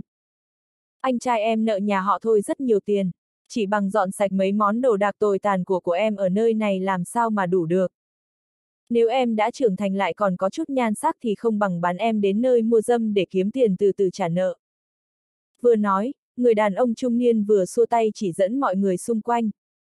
Đưa cô bé đó đi cùng đi. Tối nay tao sẽ dạy dỗ một chút, cố gắng bán được giá tốt. He he he he. Đám người hai bên trái phải lập tức xông lên, đi về phía Bạch Phi Vi. Các người muốn làm gì? Bạch Phi Vi lúc này hoàn toàn hoảng sợ, các người muốn cái gì tôi đều có thể cho nhưng đừng chạm vào tôi. Người đàn ông trung niên cười lạnh, nhưng bây giờ em chẳng có gì cả, hôm nay tôi chỉ cần em thôi. Đồ khốn nạn, Bạch Phi Vi tức giận nói, anh trai tôi đối xử với các người rất tốt. Cho dù số tiền mà nhà họ thôi đầu tư vào chúng tôi có là ném đá trên sông thì những gì các người kiếm được từ chúng tôi những năm qua cũng không chỉ có vậy. Anh không chỉ vong ân phụ nghĩa mà còn dám mơ ước tôi sao? Sau này anh trai tôi mà ra ngoài thì sẽ không buông tha các người. Nghe vậy, người đàn ông trung niên càng cười lớn hơn, cô bé, em cứ tiếp tục nằm mơ đi, anh trai em sẽ không bao giờ bước ra ngoài nữa. Đời này cũng không có khả năng ra ngoài. Em cứ ngoan ngoãn trở về cùng tôi đi, về sau em chính là người phụ nữ của tôi. Khi nói chuyện, đám tay sai của nhà họ thôi đã bao vây quanh người Bạch Phi Vi, giơ bàn tay tội ác gia định bắt người. A, à, Bạch Phi Vi hoảng sợ hét chói tai, sợ hãi lùi về phía sau. Ngay khi bàn tay bẩn thỉu phía trước sắp chạm vào gương mặt của Bạch Phi Vi. Diệp Lâm động đẩy. Răng rắc. Diệp Lâm ra tay nhanh như chớp, kẹp chặt cổ tay người đàn ông. Sau đó anh bóp mạnh, tiếng xương cốt vỡ vụn lập tức vang lên. A, à, tên tay sai kia ôm cổ tay bị gãy của mình, đau đớn hét lên một tiếng rồi ngất đi. Diệp Lâm đứng trước mặt Bạch Phi Vi. Hả, thằng nhãi kia, mày đang làm gì vậy? Người đàn ông trung niên nhìn thấy cảnh này, không khỏi trừng mắt, không ngờ nửa đường lại nhảy ra một trình rào kim. Diệp Lâm lạnh lùng nói, tôi mặc kệ các người là ai, trước đây các người đã làm gì. Nhưng bắt đầu từ hôm nay, tôi là chủ nhân mới của biệt thự Vân Thượng Phong Hoa. Mọi thứ ở đây, kể cả Bạch Phi Vi, nếu chạm vào đều sẽ phải chết. Một chiêu khống chế địch của Diệp Lâm cùng những lời báo tạo ấy. Lập tức khiến đám người có mặt ở đây kinh ngạc không nói nên lời. Chợt thấy người đàn ông trung niên kia nở cười giận dữ nói. Chỉ bằng cậu, gan cũng lớn quá nhỉ. Tôi còn không dám nói bản thân là chủ của Vân Thượng Phong Hoa, thế mà thằng nhóc cậu vừa đến đã muốn chiếm đoạt nơi này. Vậy thì cũng phải xem, cậu có bản lĩnh này không? Nói xong, người đàn ông trung niên hừ lạnh một tiếng, phất tay ra hiệu với đám thuộc hạ còn lại. Còn ngây ra đó làm gì? Đều lên hết cho tôi. Dạy dỗ thằng danh con này cho tốt, để cho nó nếm chút đau khổ. Thì người đông thế mạnh, bảy tám người đầy tớ đó vây quanh Diệp Lâm lại, cùng nhau tiến lên. Vốn tưởng rằng, là cục diện ẩu đả nghiêng về một phía. Kết quả, bịch, Diệp Lâm chỉ ra một quyền. Trong bóng tối, thậm chí không có ai có thể nhìn rõ đường quyền của anh. Giây tiếp theo, bảy tám người đầy tớ ở xung quanh Diệp Lâm đó, đều ngã xuống toàn bộ, thân thể không còn động đậy. Yên lặng. Trong sảnh lớn tối đen, im lặng như tờ. Diệp Lâm đi từng bước một qua. Trong mắt người đàn ông trung niên, Diệp Lâm lúc này giống như một bóng ma đang từng bước đến gần. Cậu, sốt cuộc cậu là ai? Người đàn ông trung niên bị dọa sợ chết kiếp, thậm chí có chút nghi ngờ người ở trước mắt, rốt cuộc có phải loài người không? Một chiếu đã có thể quật ngã bảy tám người. Thân thủ kinh khủng như thế, hoàn toàn có thể sánh ngang với các vị cao thủ mà bọn họ mời đến. Lời tao lúc nãy nói, mày đã nhớ hết chưa? Diệp Lâm hỏi lại. Nhớ, nhớ rồi, người đàn ông trung niên chậm chạp gật đầu.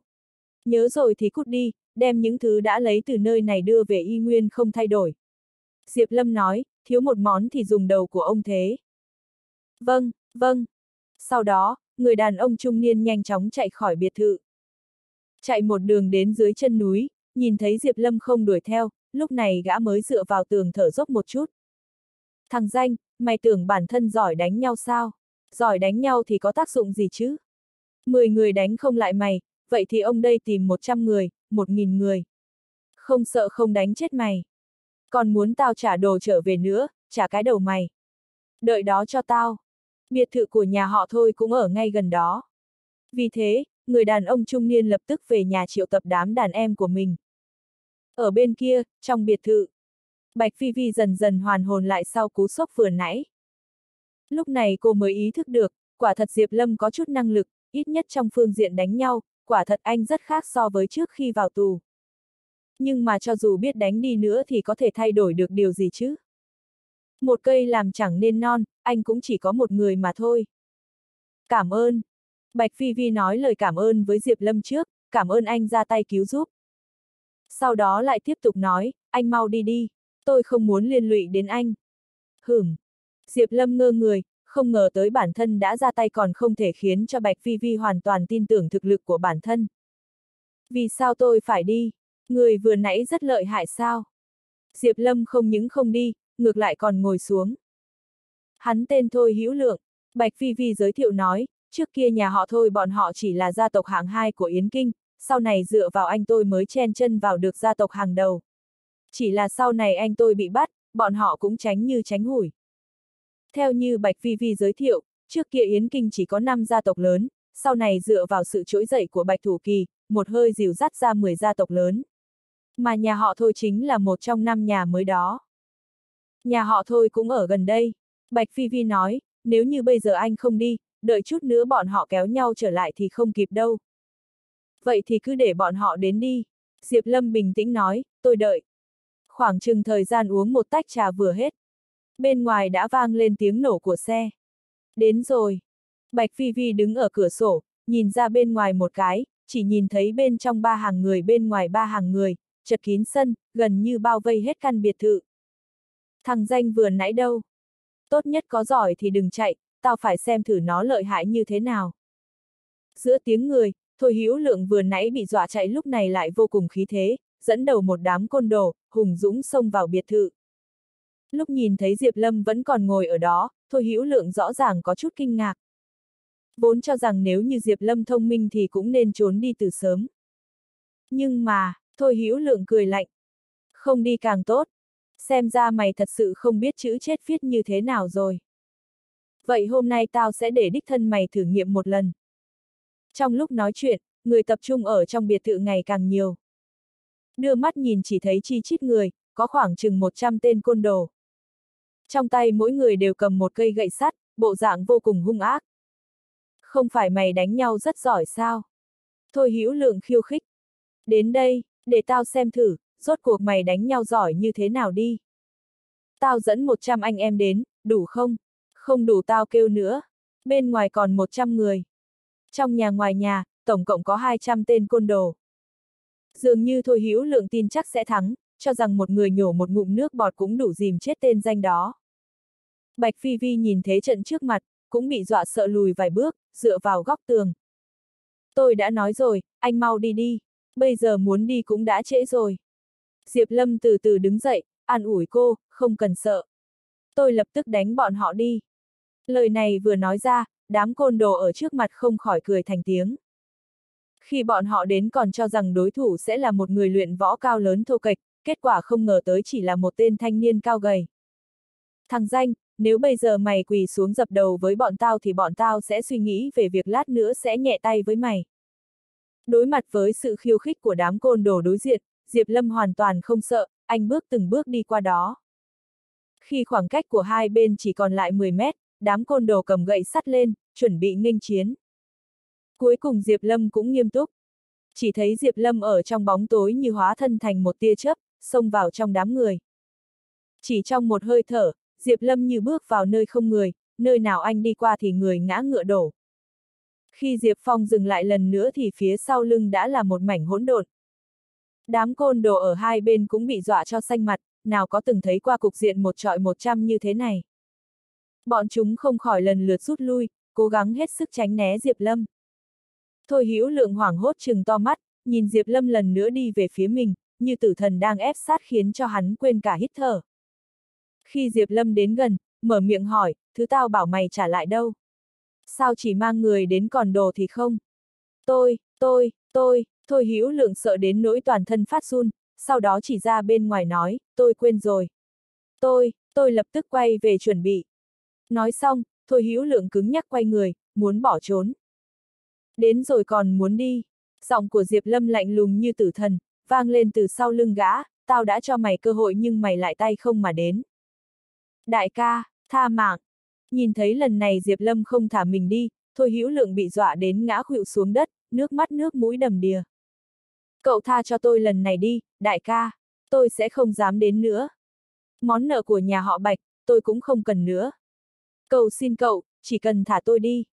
Nhắc đến món nợ, Diệp Lâm lại tò mò hỏi, nhà họ Bạch, rốt cuộc còn nợ bao nhiêu? Không, không bao nhiêu.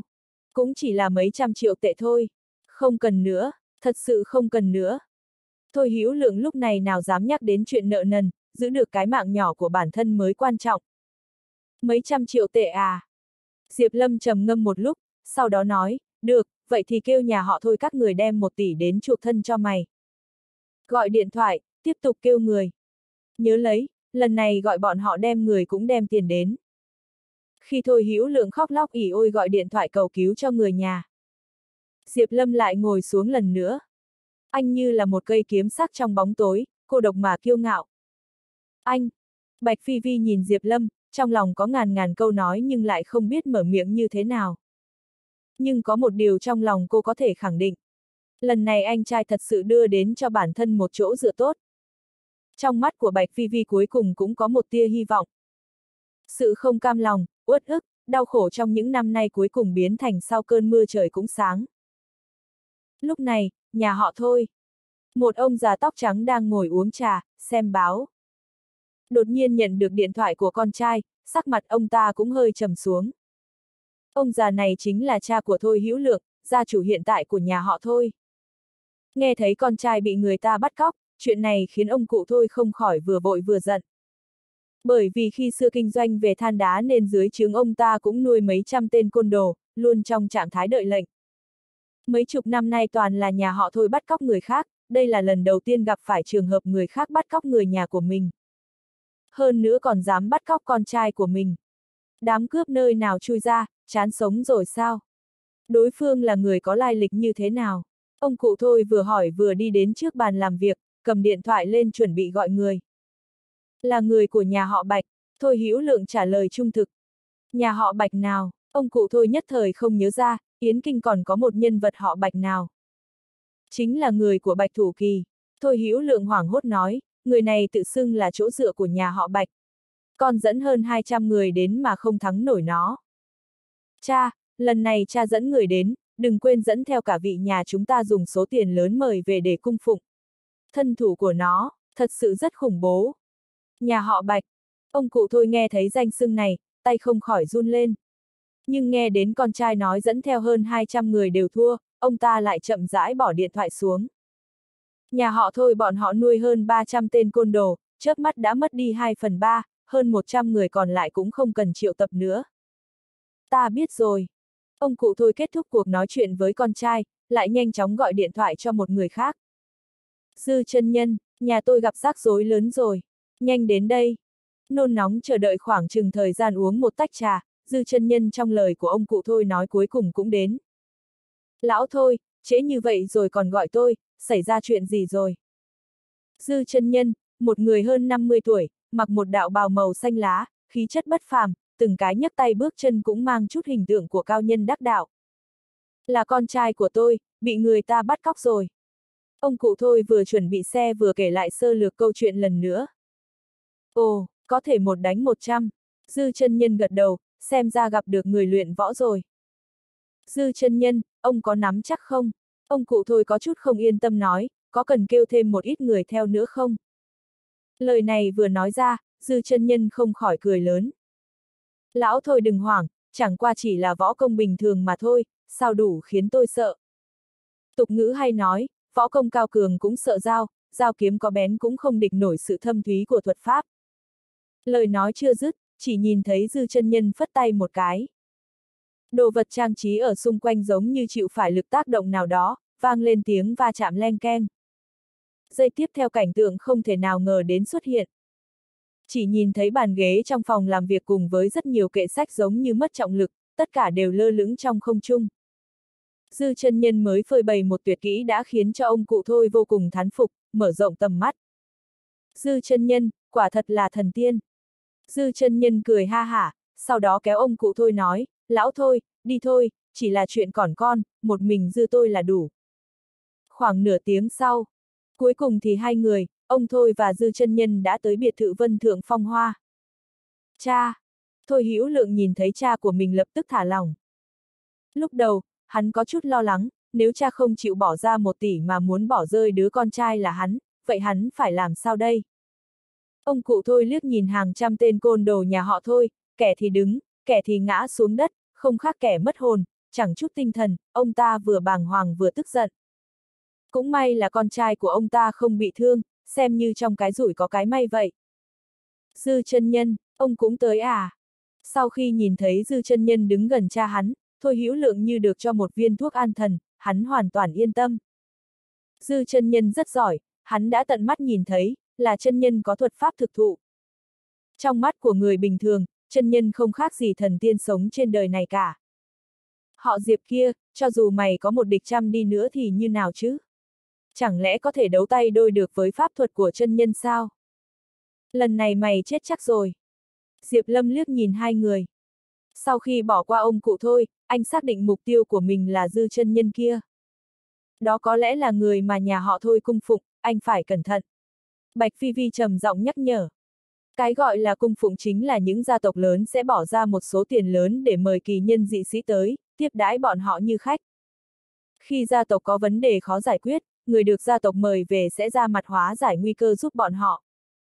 Sự có mạnh thường quân, ông ta chiêu mộ hơn một ngàn người, cho dù là gà, chó, trộm hay hạng người nào đi nữa đều được chiêu mộ để ông ta dùng. Nay các gia tộc lớn trong Yến Kinh cũng chuộng việc chiêu mộ này, thậm chí khi tranh giành lợi ích cho gia tộc, bọn họ sẽ lén lút ra tay, âm thầm tranh đấu. Có thể nói, chiêu mộ về gia tộc để cung phụng đã trở thành thứ tượng trưng thực lực của các gia tộc lớn. Diệp Lâm vừa nhìn đã biết người này cũng là người tu luyện. Bởi vì đại sư phụ của Diệp Lâm là một cao thủ đã từng trải qua độ kiếp. Sau lần độ kiếp thất bại, ông ấy mất thần trí, lạm sát kẻ vô tội, cho nên đã bị phế bỏ tu vi, bị giam trong ngục số 0. Khi Diệp Lâm đang nhìn chằm chằm Dư chân Nhân, Dư chân Nhân cũng đang quan sát Diệp Lâm. Cho dù là với tu vi của Dư chân Nhân cũng không nhìn ra chân khí trong cơ thể Diệp Lâm. Điều này chỉ có hai nguyên nhân cơ bản, hoặc là trong cơ thể Diệp Lâm không có chân khí, là một tên võ phu bình thường, hoặc là tu vi của Diệp Lâm đã vượt qua hắn ta, cho nên hắn ta không nhìn ra. Dư chân nhân thấy Diệp Lâm chỉ độ tuổi 20, chắc chắn là lý do đầu tiên. Đối phương chỉ là người thường giỏi võ mà thôi. Sau khi đưa ra phán đoán về Diệp Lâm, Dư chân nhân đã buông đề phòng. Lấy một địch trăm, thân thủ rất tốt. Dư chân nhân đi về trước, cười nói. Không biết sư phụ cậu là ai? Nghe nhắc tới sư phụ mình, Diệp Lâm cười, tôi có rất nhiều sư phụ. Ông muốn biết sư phụ nào của tôi đây? Nghe thế, Dư chân nhân ngây người, không hiểu hỏi, cậu có bao nhiêu sư phụ? Hơn 100. a à, Dư chân nhân không nhịn được bật cười thành tiếng, cho rằng Diệp Lâm đang khoác loát, ai lại có nhiều sư phụ tới vậy? Không phải lung tung quá rồi sao? Thầm đoán sư phụ của đối phương chỉ là kẻ vô danh cho nên hắn không chịu nói. Được rồi. Dư chân nhân tiếp tục nói, thấy thân thủ của cậu không tệ, không bằng chúng ta biến việc lớn thành chuyện nhỏ đi. Chỉ cần cậu quỳ xuống, nhận sai và xin lỗi nhà họ thôi, từ nay về sau làm việc cho nhà họ thôi, như vậy tôi có thể tha mạng cho cậu. Dư chân nhân cho rằng bản thân là chân nhân có pháp thuật hoàn toàn áp đảo tên võ phu tầm thường. Nếu hắn ta ra tay, đối phương không chết cũng trọng thương. Nếu đối phương thức thời, bây giờ nên quỳ xuống xin tha. Ông cụ thôi thấy dư chân nhân muốn nhận người này, tuy rằng lửa giận trong lòng vẫn chưa nguôi, nhưng thấy thân thủ của anh không tệ, cho nên cũng không trở mặt. Không được, thôi hữu lượng lại mang dáng vẻ đắc thể không chịu buông tha cho người khác, không thể tha cho nó dễ dàng như vậy được. Không phải lúc nãy nó rất ngông cuồng, đánh đấm rất giỏi sao? Nếu muốn quỳ xuống xin tha vậy ít ra phải dập đầu 100 cái với chúng ta mới được. Dư chân nhân nghe vậy thì cười, tên nhóc này, cậu có nghe không? Thôi hữu lượng bảo cậu dập đầu 100 cái mới chịu buông tha cho cậu. Cậu còn không nhanh làm theo. Dư chân nhân cũng muốn dùng cách này để dập tắt ngạo khí của đối phương. Chỉ cần đối phương hạ mình một lần thì có thể mãi mãi đạp anh dưới chân. Thật vô nghĩa. Diệp Lâm lạnh lùng đáp lại. Là điều gì khiến các người cho rằng tôi muốn đàm phán? Các người có mang tiền đến không? Thiếu một xu thì một người trong số các người cũng đừng hòng rời khỏi đây. Cái gì? Lời vừa nói ra, bầu không khí lại bắt đầu trở nên náo nhiệt. Thằng danh, còn dám mạnh miệng. Thôi hữu lượng tức giận nói, dư chân nhân, mau ra tay đi, dạy dỗ nó một trận. Đúng là nghé con mới đẻ không sợ cọp mà. Ông cụ thôi cũng trầm giọng nói, dư chân nhân, đã tới lúc cho tên nhóc đó một bài học rồi, cho nó biết nhà họ thôi chúng ta lợi hại thế nào. Ra tay đi. Dư chân nhân gật đầu, cũng trầm giọng nói, tên nhóc, tôi đã cho cậu cơ hội giữ mạng, đáng tiếc là cậu đã bỏ qua. Được rồi, nếu cậu đã muốn tìm tới cái chết, hôm nay tôi sẽ cho cậu biết năng lực của tôi. Vừa nói chuyện, dư chân nhân đã giơ tay lên. Kiếm gỗ sau lưng tuốt khỏi vỏ. Bay lơ lửng trên không trung, giống như mũi tên nhọn. Ngự kiếm. Tận mắt nhìn thấy dư chân nhân ngự kiếm một lần nữa, thôi hữu lượng kích động kêu lên. Mau chém đầu tên nhóc kia. Nhìn thấy kiếm gỗ bay lên, Bạch Phi Vi cả kinh trợn tròn mắt. Chẳng lẽ, hắn ta chính là người tu hành trong lời đồn. Bạch Phi Vi nhớ, khi anh trai đang gây dựng sự nghiệp, cũng từng có kỳ nhân dị sĩ tới ngỏ ý hợp tác, nhưng đáng tiếc lúc đó anh ấy thích tiền, không có hứng thú với chuyện khác, cũng không tin tưởng bọn họ. Bây giờ, tận mắt nhìn thấy kẻ nhà họ thôi cung phụng có thực lực tuyệt diệu như vậy, Bạch Phi Vi có chút hối hận.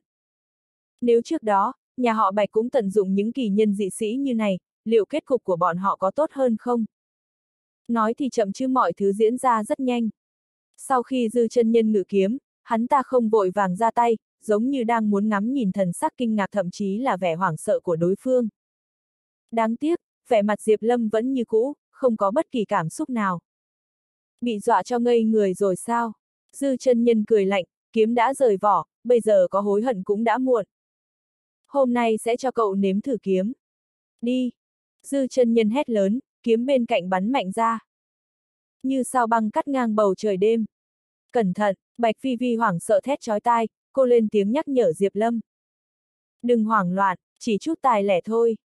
Nói xong, Diệp Lâm bước về trước, cơ thể hiện lên kim quang, ánh sáng tỏa ra khắp căn phòng tối tăm. Ngay lập tức, kiếm bay giống như tia chớp, thanh kiếm lao tới ép sát Diệp Lâm trong chớp mắt. Diệp Lâm bước tới, đối diện với kiếm. Khi kiếm cách ngực Diệp Lâm chưa tới một gang tay thì đột nhiên dừng giữa không trung. Ong ong ong, thân kiếm khẽ run lên, dường như đang giấy ruộ trong không trung. Cùng lúc đó, Diệp Lâm cũng đứng lại, kim quang bao phủ quanh người. Dường như một lớp chăn phòng thủ kiên cố vô hình được tạo ra. Kiếm bay nhanh tới bị chặn lại bên ngoài kim quang đó. Cảnh tượng không ai ngờ tới diễn ra khiến mọi người kinh ngạc. Nhìn sang dư chân nhân, chỉ thấy hẳn ta hít sâu một hơi, mắt trợn to, há hốc mồm, kinh ngạc kêu lên. Kim quang hộ thể. Đây, sao có thể? Lúc đầu hẳn ta cho rằng Diệp Lâm là một vũ phu tầm thường không có tu vi, kết quả không ngờ được, đối phương lại dùng kim quang hộ thể để chặn đường kiếm của hẳn ta. Ngay lập tức, Diệp Lâm chỉ tay về phía kiếm đang đối diện ở bên ngoài kim quang. Anh búng tay. Tiếng nứt vỡ, lách cách nhanh chóng vang lên. Kiếm gỗ gãy thành nhiều mảnh, mảnh kiếm cùng với chuôi kiếm rơi xuống nền đất. A, à, dư chân nhân đang điều khiển kiếm cũng chịu phản phệ, lùi về sau ba bước, trong cơ thể như có sóng ngầm cuồn cuộn, suýt chút nữa đã bị nội thương. Vẻ mặt dư chân nhân hoảng sợ, không thể diễn tả được nỗi sợ lúc này. Chỉ là một kẻ hèn chân nhân mà cũng dám làm càn trước mặt tôi. Diệp Lâm kết ấn, quanh thân anh vang lên tiếng sãm dữ dội. Hôm nay sẽ tôi cho ông biết một chút về năng lực của tôi. Nói xong, Diệp Lâm nhẹ nhàng nâng tay lên, cánh tay giơ cao lên đỉnh đầu, ngón tay chỉ thẳng lên trời. Đầu ngón tay anh hơi sáng lên, cùng với đó là tiếng sấm vang lên, dường như có lôi điện quanh thân. Nhìn thấy cảnh này, người ngoài đạo thì xem náo nhiệt, kẻ trong đạo thì xem đạo Pháp. Người khác cũng chỉ là không hiểu chuyện gì, nhưng dư chân nhân lại giật mình, dùng mình một cái, ngay cả giọng cũng lạc cả đi. Dùng khí làm chất dẫn, pháp thuật thông thần. Cậu, cậu là thiên sư. Dư chân nhân nhìn Diệp Lâm, vẻ mặt hoảng sợ, bộ dạng không dám tin tưởng. Hẳn ta chưa từng nghĩ tới, sẽ có một thiên sư trẻ tuổi tới vậy. Nếu đã có thể trở thành thiên sư có nghĩa là có thể khống chế quy luật trời đất, cao hơn bọn chân nhân như hắn ta rất nhiều. Trong giới tu hành, danh hiệu chân nhân và thiên sư đã từng bị trộn lẫn với nhau, không biết cái nào cao hơn. Mãi cho tới khi Hồng Vũ Đại Đế đã nói trời làm sao có sư được, người tu hành mới đổi thành chân nhân. Nhưng bọn họ đều ngầm gọi những người có năng lực khống chế trời đất là thiên sư. Thiên sư và chân nhân, không khác gì trời với đất, một trời một vực. Do đó, hiện tại nhìn thấy một người trẻ tuổi có tu vi thiên sư, sao dư chân nhân không kinh sợ cho được. Rốt cuộc sư phụ cậu là ai? Là thần thánh phương nào? Dư chân nhân vô cùng kinh sợ, liên tục lùi về phía sau, mồ hôi lạnh không ngừng túa ra. Diệp Lâm không lên tiếng, anh chậm rãi đi tới, kim quang quanh thân bắn ra xung quanh. Nhắm thẳng về phía mục tiêu. Chỉ nghe thấy một tiếng chắc, vang lên, âm thanh như tiếng sấm đánh xuống mặt đất. Diệp Lâm vươn tay, hét lớn một tiếng, lôi tới. Trên đỉnh mái nhà giống như có một bàn tay khổng lồ úp xuống. Đánh về phía đầu của dư chân nhân. Tia chớp ập tới, như muốn bao phủ cả người hẳn ta trong lòng bàn tay mang lôi điện kia. Dư chân nhân ngẩng đầu lên, miệng há to, cơ thể cháy đen như bị điện giật, thân thể bị vùi dưới sấm sét, rơi mạnh xuống, không rõ sống chết. Diệp Lâm vung tay, kim quang tỏa ra xung quanh. Đại sảnh biệt thự to như vậy lại bị bóng tối bủa vây lần nữa. Yên lặng, xung quanh tĩnh lặng. Dường như nơi này biến thành một vực sâu không thấy đáy, tĩnh lặng không một âm thanh. Trong bóng tối, tất cả đều nhìn chăm chăm Diệp Lâm, trong đầu vẫn quẩn quanh dáng vẻ Diệp Lâm điều khiển lôi điện, một chiêu giết chết dư chân nhân, cảnh tượng thật kinh hoàng. Lúc bấy giờ, Bạch Phi Vi hoàn toàn kinh ngạc, và ngây người trước thần uy của Diệp Lâm. Nếu lúc đầu, Bạch Vĩ vì từ hoài nghỉ đối với Lâm cho tới dần dần có chút sự tin tưởng khi thấy ha một địch trăm. Thì ngay lúc này, Bạch Phi Vi vô cùng tin tưởng Diệp Lâm. Dựa vào thực lực Diệp Lâm, anh không chỉ trở thành chỗ dựa cho nhà họ Bạch mà còn là thần bảo hộ của bọn họ. Ngọn lửa hy vọng trong mắt Bạch Phi Vi bốc, Cháy hừng hực. Nhà họ Bạch sắp trỗi dậy rồi. Còn đám người nhà họ thôi ở bên kia còn sợ hãi và khiếp sợ hơn cả Bạch Vi Vi. Nỗi sợ hãi xuất phát từ nội tâm. Tên nhóc thối này, rốt cuộc con đã đụng chúng quái vật gì thế hả? Ông cụ thôi bị dọa tới liên tục nuốt nước bọt, cơ thể run lẩy bẩy. Ông ta bỏ ra một số tiền lớn để mời dư chân nhân, lại bị đối phương dùng một chiêu giết ngay lập tức, như này còn phải làm sao đây? Con, con cũng không biết, thôi hữu lượng đau khổ, ngây người ra. Hắn chỉ giống như mọi khi, tới biệt thự nhà họ Bạch để cướp chút đồ tốt mà thôi. Ai có thể ngờ được, hôm nay lại gặp được, một vị diêm vương sống tới chiếm cứ nơi này chứ. Cạch cạch. Sau khi giải quyết xong dư chân nhân, Diệp Lâm bước từng bước, đi tới chỗ hai cha con nhà họ thôi. Nhìn thấy Diệp Lâm đi tới chỗ mình, Thôi Hữu Lượng dùng mình, đột nhiên nhớ ra một chuyện. Cha, cha, vừa rồi con điện cho cha, nói cha chuẩn bị tiền, cha có chuẩn bị không? Nghe thế, ông cụ thôi ngẩn ra, lắc đầu nói, không, không có. Lúc đó ông dẫn dư chân nhân tới, tự cho là không có bất chắc, việc dễ như trở bàn tay, cần gì phải tốn thời gian chuẩn bị số tiền lớn như vậy chứ? Nhưng ai mà ngờ được, dư chân nhân tới lại bị hạ gục trong một chiêu như này.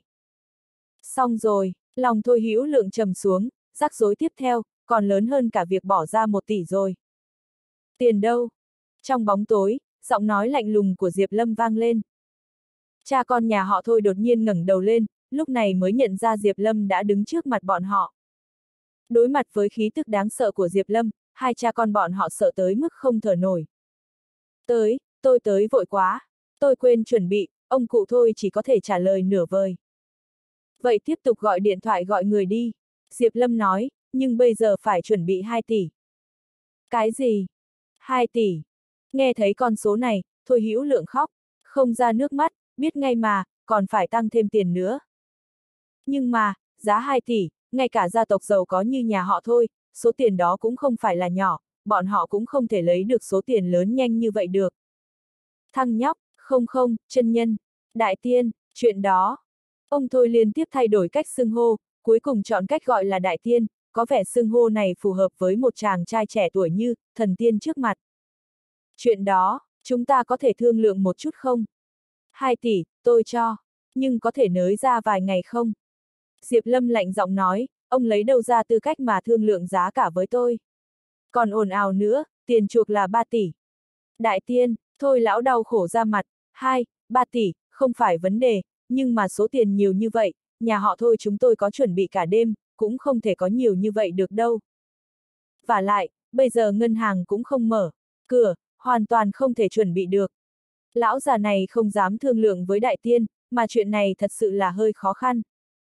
Lúc này, Bạch Phi Vi nói thêm, ông ấy nói đúng đó, muộn như vậy rồi, thật sự không thể chuyển quá nhiều tiền. Hay là cho nhà họ thôi bọn họ thêm 3 ngày nữa đi. Đối với gia tộc giàu có như nhà họ thôi, chuẩn bị 3 ngày là đủ. Được, tôi sẽ cho các người thêm vài ngày.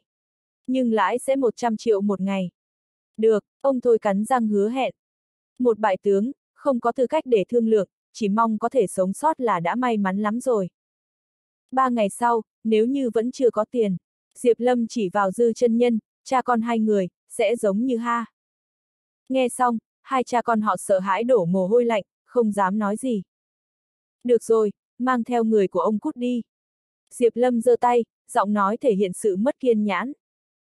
Vâng vâng vâng. Tạm biệt đại tiên, tạm biệt bạch tiểu thư. Hai cha con nhà họ thôi như nhận được ân xá, chỉ tay vào những tên thuộc hạ, đem dư chân nhân không biết còn sống hay đã chết và đám côn đồ khác vội vàng chạy đi. Chạy một mạch xuống chân núi, hai cha con này mới dám dừng chân thở dốc. Cha, phải đưa bọn họ hai tỷ thật sao? Thôi Hữu Lượng vừa nghĩ phải đưa ra số tiền nhiều như vậy, liền cảm thấy đau đớn, thậm chí sau khi chạy trốn được, hắn còn có suy nghĩ quyệt nợ. Dù sao nhà họ thôi bọn họ, ở Yến Kinh có tiền có quyền, tại sao phải sợ một thăng danh kia chứ? Làm sao, con còn muốn quyệt nợ? Ông thôi vỗ đầu con trai mình một cái, lớn tiếng phàn nàn, con còn chê chuyện chưa đủ nhiều à? Nhìn dư chân nhân đi, một đạo sĩ lợi hại như vậy, vẫn bị tên đại tiên kia một chân đá văng đó. Ba ngày nữa, nếu đại tiên lại tìm đến cửa, hai cha con mình có còn đường sống không? Ai ra, thôi hữu lượng thở dài, hối hận về việc hôm nay bản thân bỗng dưng chạy tới biệt thự nhà họ Bạch kiếm chuyện. Trộm cướp bất thành, lại còn bị tống tiền. Bây giờ tìm ai để đòi lại công bằng đây? Hai tỷ này, coi như là một cái giấy chứng nhận đi. Lúc này ông thôi có tâm nhìn rất thoáng, thậm chí, ông còn phát hiện ra cơ hội ngàn năm có một. Giấy chứng nhận, là ý gì? Thôi hữu lượng bối rối, không hiểu cha mình đang có ý gì. Ý của ta là, nhà họ Bạch, có lẽ sẽ quật khởi. Ông thôi thẳng thắn đáp, 20 năm trước, chúng ta có thể dựa vào thăng nhóc Bạch Thủ Kỳ mà trở nên giàu có. Vậy thì 20 năm sau, có lẽ chúng ta có thể vẫn có thể tiếp tục nhờ vả nhà họ Bạch. Bên trong biệt thự, trong lòng Bạch Vi Vi có rất nhiều điều muốn nói, nhưng không biết bắt đầu từ đâu. Cuối cùng, Bạch Vi Vi chỉ dùng ba từ để bày tỏ ý kiến của mình. Tôi tin anh, Diệp Lâm gật đầu, mặc dù ban đầu bị Bạch Vi Vi nghi ngờ, nhưng với năng lực của anh, muốn giành được niềm tin của Bạch Vi Vi, chỉ là vấn đề thời gian. Mà chuyện của cha con nhà họ thôi, chính là cơ hội tốt nhất. Anh định làm gì để chúng ta có thể quật khởi? Bạch Phi Phi tò mò hỏi, anh trai tôi có liên lạc gì với anh không? Diệp Lâm nói, anh cô nói rồi, cô cũng có tài năng giống như anh ấy, có năng lực kinh doanh. Anh ấy nhờ cô giúp tôi gầy dựng lại đế chế kinh doanh. Nghe xong, Bạch Phi Vi kích động đến đỏ mặt, không ngờ anh trai lại đánh giá cao mình như vậy. Cô thật sự là một thiên tài, có khả năng xem một lần đã nhớ, từ nhỏ đã đi theo anh trai, mưa dầm thấm lâu, cũng có khả năng tự kinh doanh, chỉ là tài năng còn chưa kịp thi triển thì nhà họ. Bạch đã sụp đổ. Thứ mà cô còn thiếu, chính là cơ hội. Nhưng Diệp Phong đến rồi, có thể cho cô tất cả. Hai tỷ của nhà họ thôi, sẽ làm vốn khởi nghiệp của công ty Diệp Lâm sắp xếp. Vẫn chưa đủ, Bạch Phi Vi đột nhiên thay đổi sắc mặt, như thể trở thành một người khác, trở thành một người phụ nữ mạnh mẽ, thứ nhà họ thôi nợ chúng ta, hai tỷ vẫn chưa đủ. Ngoài nhà họ thôi, còn có bốn gia tộc khác, nếu không có sự trợ giúp của anh tôi, năm gia tộc đó sao có thể phát triển như bây bây giờ. Tôi phải bắt bọn chúng nôn ra hết. Diệp Lâm gật đầu, nếu đã nhiều người mắc nợ ân tình như vậy, thì ba ngày nữa, chúng ta sẽ cùng nhau lấy lại. Để nhà họ thôi thông báo cho bốn gia tộc kia, gọi bọn họ đến đây gặp tôi. Có sự giúp đỡ của Diệp Lâm, Bạch Phi Vi không hề nghỉ ngờ việc năm đại gia tộc đã từng khuất phục bọn họ, sẽ một lần nữa chép tay quỳ lạy bọn họ. Chỉ là, vinh quang sau khi bọn họ quật khởi thành công ấy, anh trai cô sẽ không thấy được. À, đúng rồi Diệp Lâm vừa định lên lầu nghỉ ngơi, đột nhiên nghĩ đến một chuyện, anh quay đầu lại nói, lúc nãy có câu cô nói sai rồi, hay nói cách khác là nói không đúng lắm. Cô trách anh cô thất bại vì không có chỗ dựa, đó chỉ là một trong những lý do thôi. Cô có biết anh ấy nói sao về chuyện này không? Bạch Phi Vi lắc đầu, không biết anh trai đã nói về sự thất bại của bản thân như thế nào. Anh ấy nghĩ vì mình không có đủ tiền nên mới thất bại. Diệp Lâm cổ vũ Bạch Vĩ Vi nói. Chỉ cần được đủ tiền, sau này muốn cứu anh cô ra tù cũng không phải không thể. Cái gì cũng có cái giá của nó, quan trọng là cô có nhìn ra được không thôi.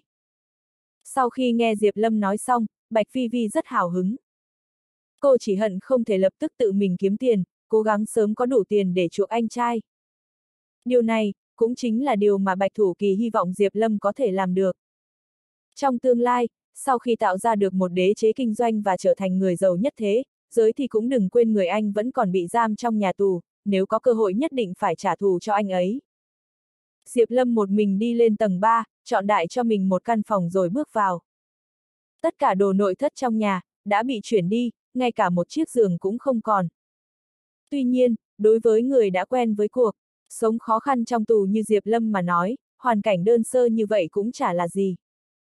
Nói đi cũng phải nói lại, tự do mới là thứ quý.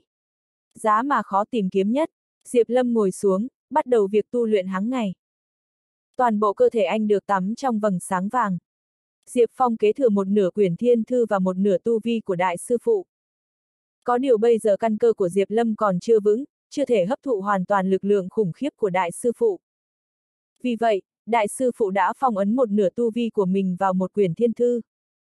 Mỗi ngày Diệp Lâm thả nó ra rồi hấp thụ một ít, tích tiểu thành đại, vô cùng hữu ích. Mà quyển thiên thư đó đang ẩn giấu trong ý thức của Diệp Lâm. Trong lúc Diệp Lâm hoàn toàn trong trạng thái tu luyện, đột nhiên có tiếng gió lao sao bên ngoài. Lại có người đến. Diệp Lâm giật mình. Sự cảm người đến lần này rất bất thường, người vừa lên núi, cây cỏ xung quanh đã xào xạc, gió to thổi đến. Lẽ nào là người nhà họ thôi phái đến? So với những người trước đây, người tới lần này lại vô cùng bí ẩn, có nghĩa là thực lực cũng cao hơn nhiều. Vân Thượng Phong Hoa lại có chủ nhân mới à? Bên ngoài biệt thự vang lên một giọng nói lảnh lót, tuy ở rất xa, nhưng vẫn vang vẳng bên tai. Trận chiến vừa rồi, thật là kinh thiên động, địa. Tôi, Lý Úc Bạch, tình cờ sống gần đây, cao. Nhân nơi nào có thể ra gặp mặt không? Lý Úc Bạch, cái tên này có hơi quen, nhưng nhất thời Diệp Lâm không nhớ ra là ai. Nếu Kim Lũ Y ở đây, nhất định có thể nhận ra, người đến không phải ai khác, chính là cha cô A, chiến thần U Châu Lý Úc Bạch. Chú Lý. Lúc này, bên ngoài lại vang lên giọng nói của Bạch Vị Vi. Có vẻ như người tới thực sự là hàng xóm, Bạch Phi Vi chủ động ra ngoài tiếp đón. Muộn như vậy rồi, sao chú còn đến vậy? Lý Úc Bạch khế cười, chú nghe thấy bên này có động tính, nên đến xem thử. Con không sao chứ? Con không sao Bạch Vị Vi lắc đầu. Người ở trong là ai vậy? Lý Úc Bạch tò mò hỏi. Là người anh con phái đến để bảo vệ con ạ. À?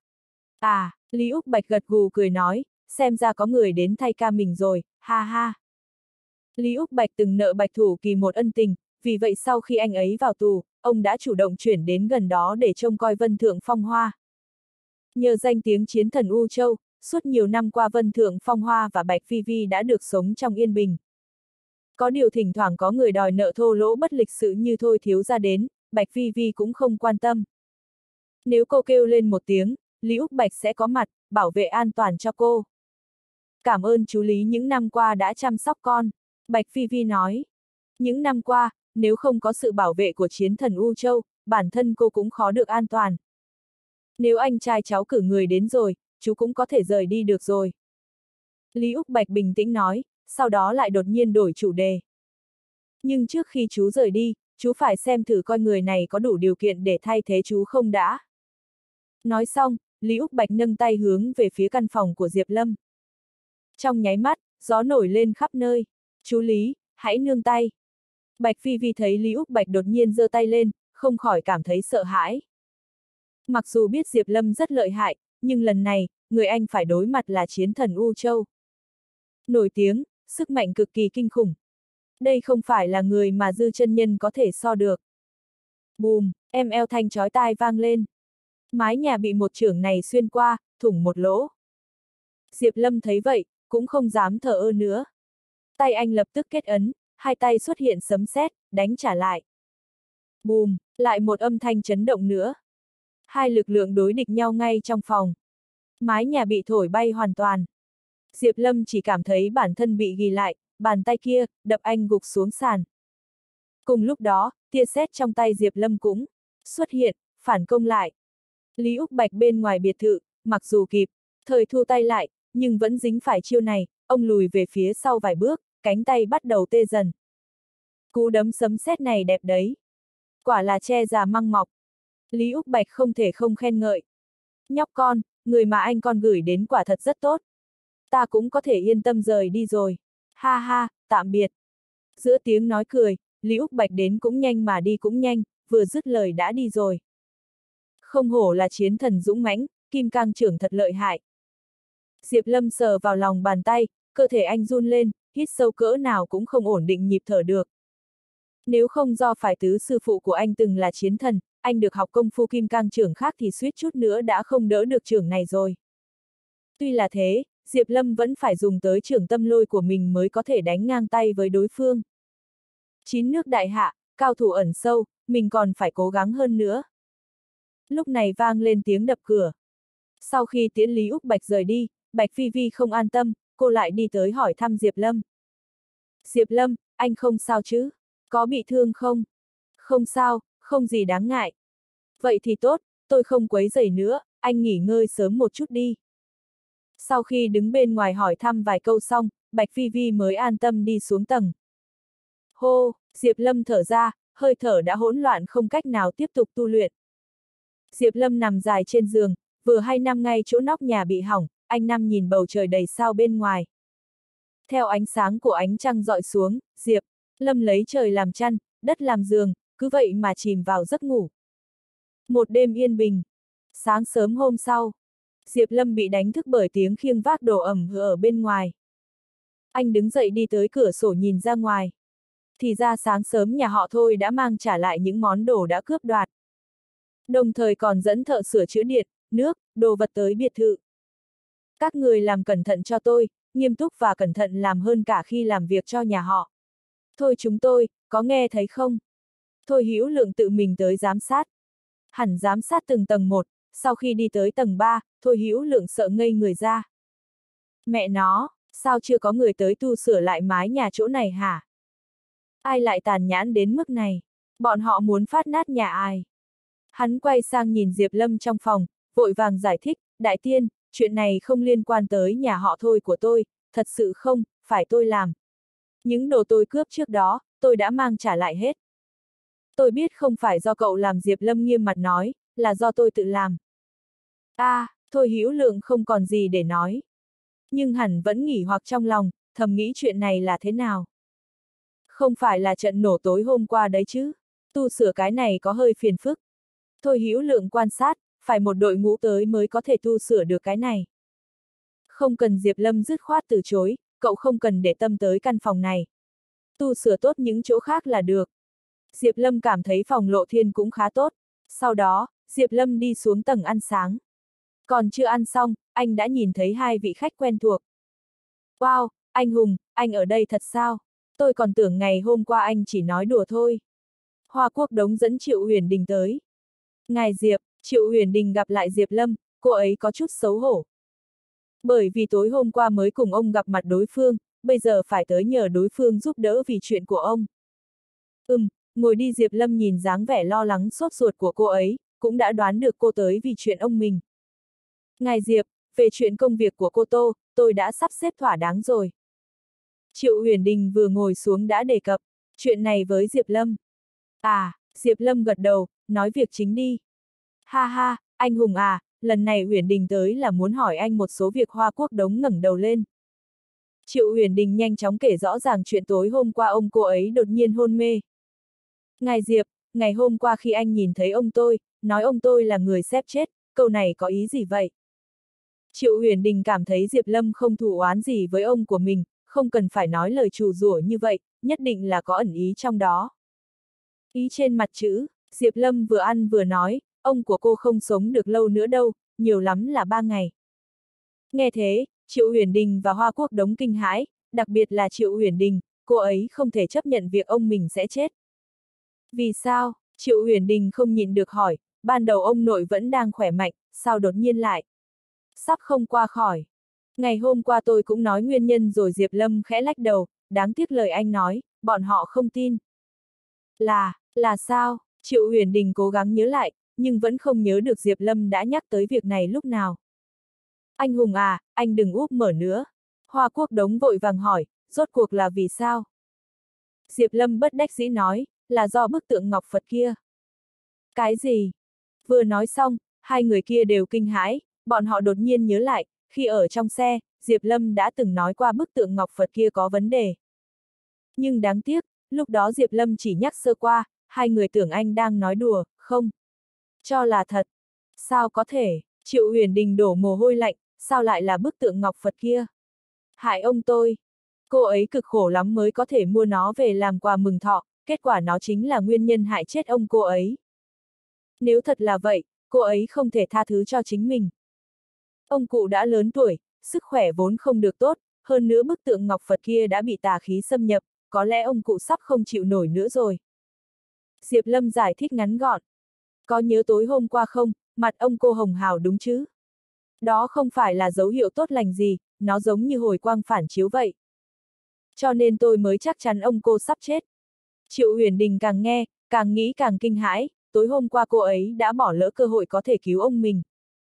Y ra, anh Hùng à, chuyện quan trọng như vậy, sao anh không nói rõ ràng ra chứ? Hoa quốc đống nằm cổ tay thở dài nói. Lần đầu tiên gặp mặt, tôi đã nói rồi. Diệp Lâm cười lạnh nói, nhưng các người có tin tôi đâu. Bác sĩ cũng không gõ cửa từng nhà để khám bệnh. Diệp Lâm đã có lòng tốt nhắc tới hai lần, chẳng qua là bọn họ không tin thôi. Ngài Diệp, nếu anh biết nhiều như vậy, Triệu Huyền Đình đột nhiên nghĩ tới chuyện gì đó, cô ấy nắm lấy tay của Diệp Lâm nói, anh có cách nào cứu ông nội của tôi không? Bây giờ ông tôi, sắp không qua khỏi rồi. Đâm trúng nỗi đau, Triệu Huyền Đình rơi lệ. Cách, đương nhiên là có. Ngũ sư phụ của Diệp Lâm là thần y vang danh thiên hạ. Bởi vậy, Diệp Lâm cũng đã được học y thuật chữa xương cốt người chết. Tuy rằng tình trạng của ông Triệu không mấy, khả quan nhưng nếu muốn kéo ông ấy từ quỷ, môn quan trở về cũng không phải quá khó. Thật sao, Triệu Huyền Đình nghe thế lập tức, phấn chấn tinh thân, nắm chặt tay Diệp Lâm hơn nữa, vậy cầu xin anh, cứu ông nội tôi với. Chỉ cần có thể cứu sống ông tôi, chuyện gì tôi cũng đồng ý với anh. Tay Triệu Huyền Đình mềm mại, nhỏ nhắn nhưng Diệp Lâm vẫn bình tâm như vậy, anh lặng lẽ rút tay về, nghiêm mặt nói. Cứu người, tất nhiên là được. Nhưng sư phụ tôi từng nói, sau này chúng tôi xuất môn, khi cứu người phải tuân thủ một quy tắc, muốn cứu một người phải giết một người. Cứu một người, giết một người sao? Quy định kỳ lạ này khiến những người ở đây đều kinh ngạc. Sát y thánh giải. Bạch Phi Vi, Triệu Huyền Đình, Hoa Quốc Đồng đều đồng loạt kêu lên. Hả, mọi người từng nghe tới tên của sư phụ tôi sao? Diệp Lâm ngây người, không ngờ danh tiếng của ngũ sư phụ lại vang xa như vậy. Dù là tiếng xấu hay tiếng tốt thì cũng tùy vào quan điểm của từng người. Sát y thánh giả, là sư phụ của anh hùng sao? Hoa quốc đống bất ân, hó trách anh hùng làm việc không giống người khác.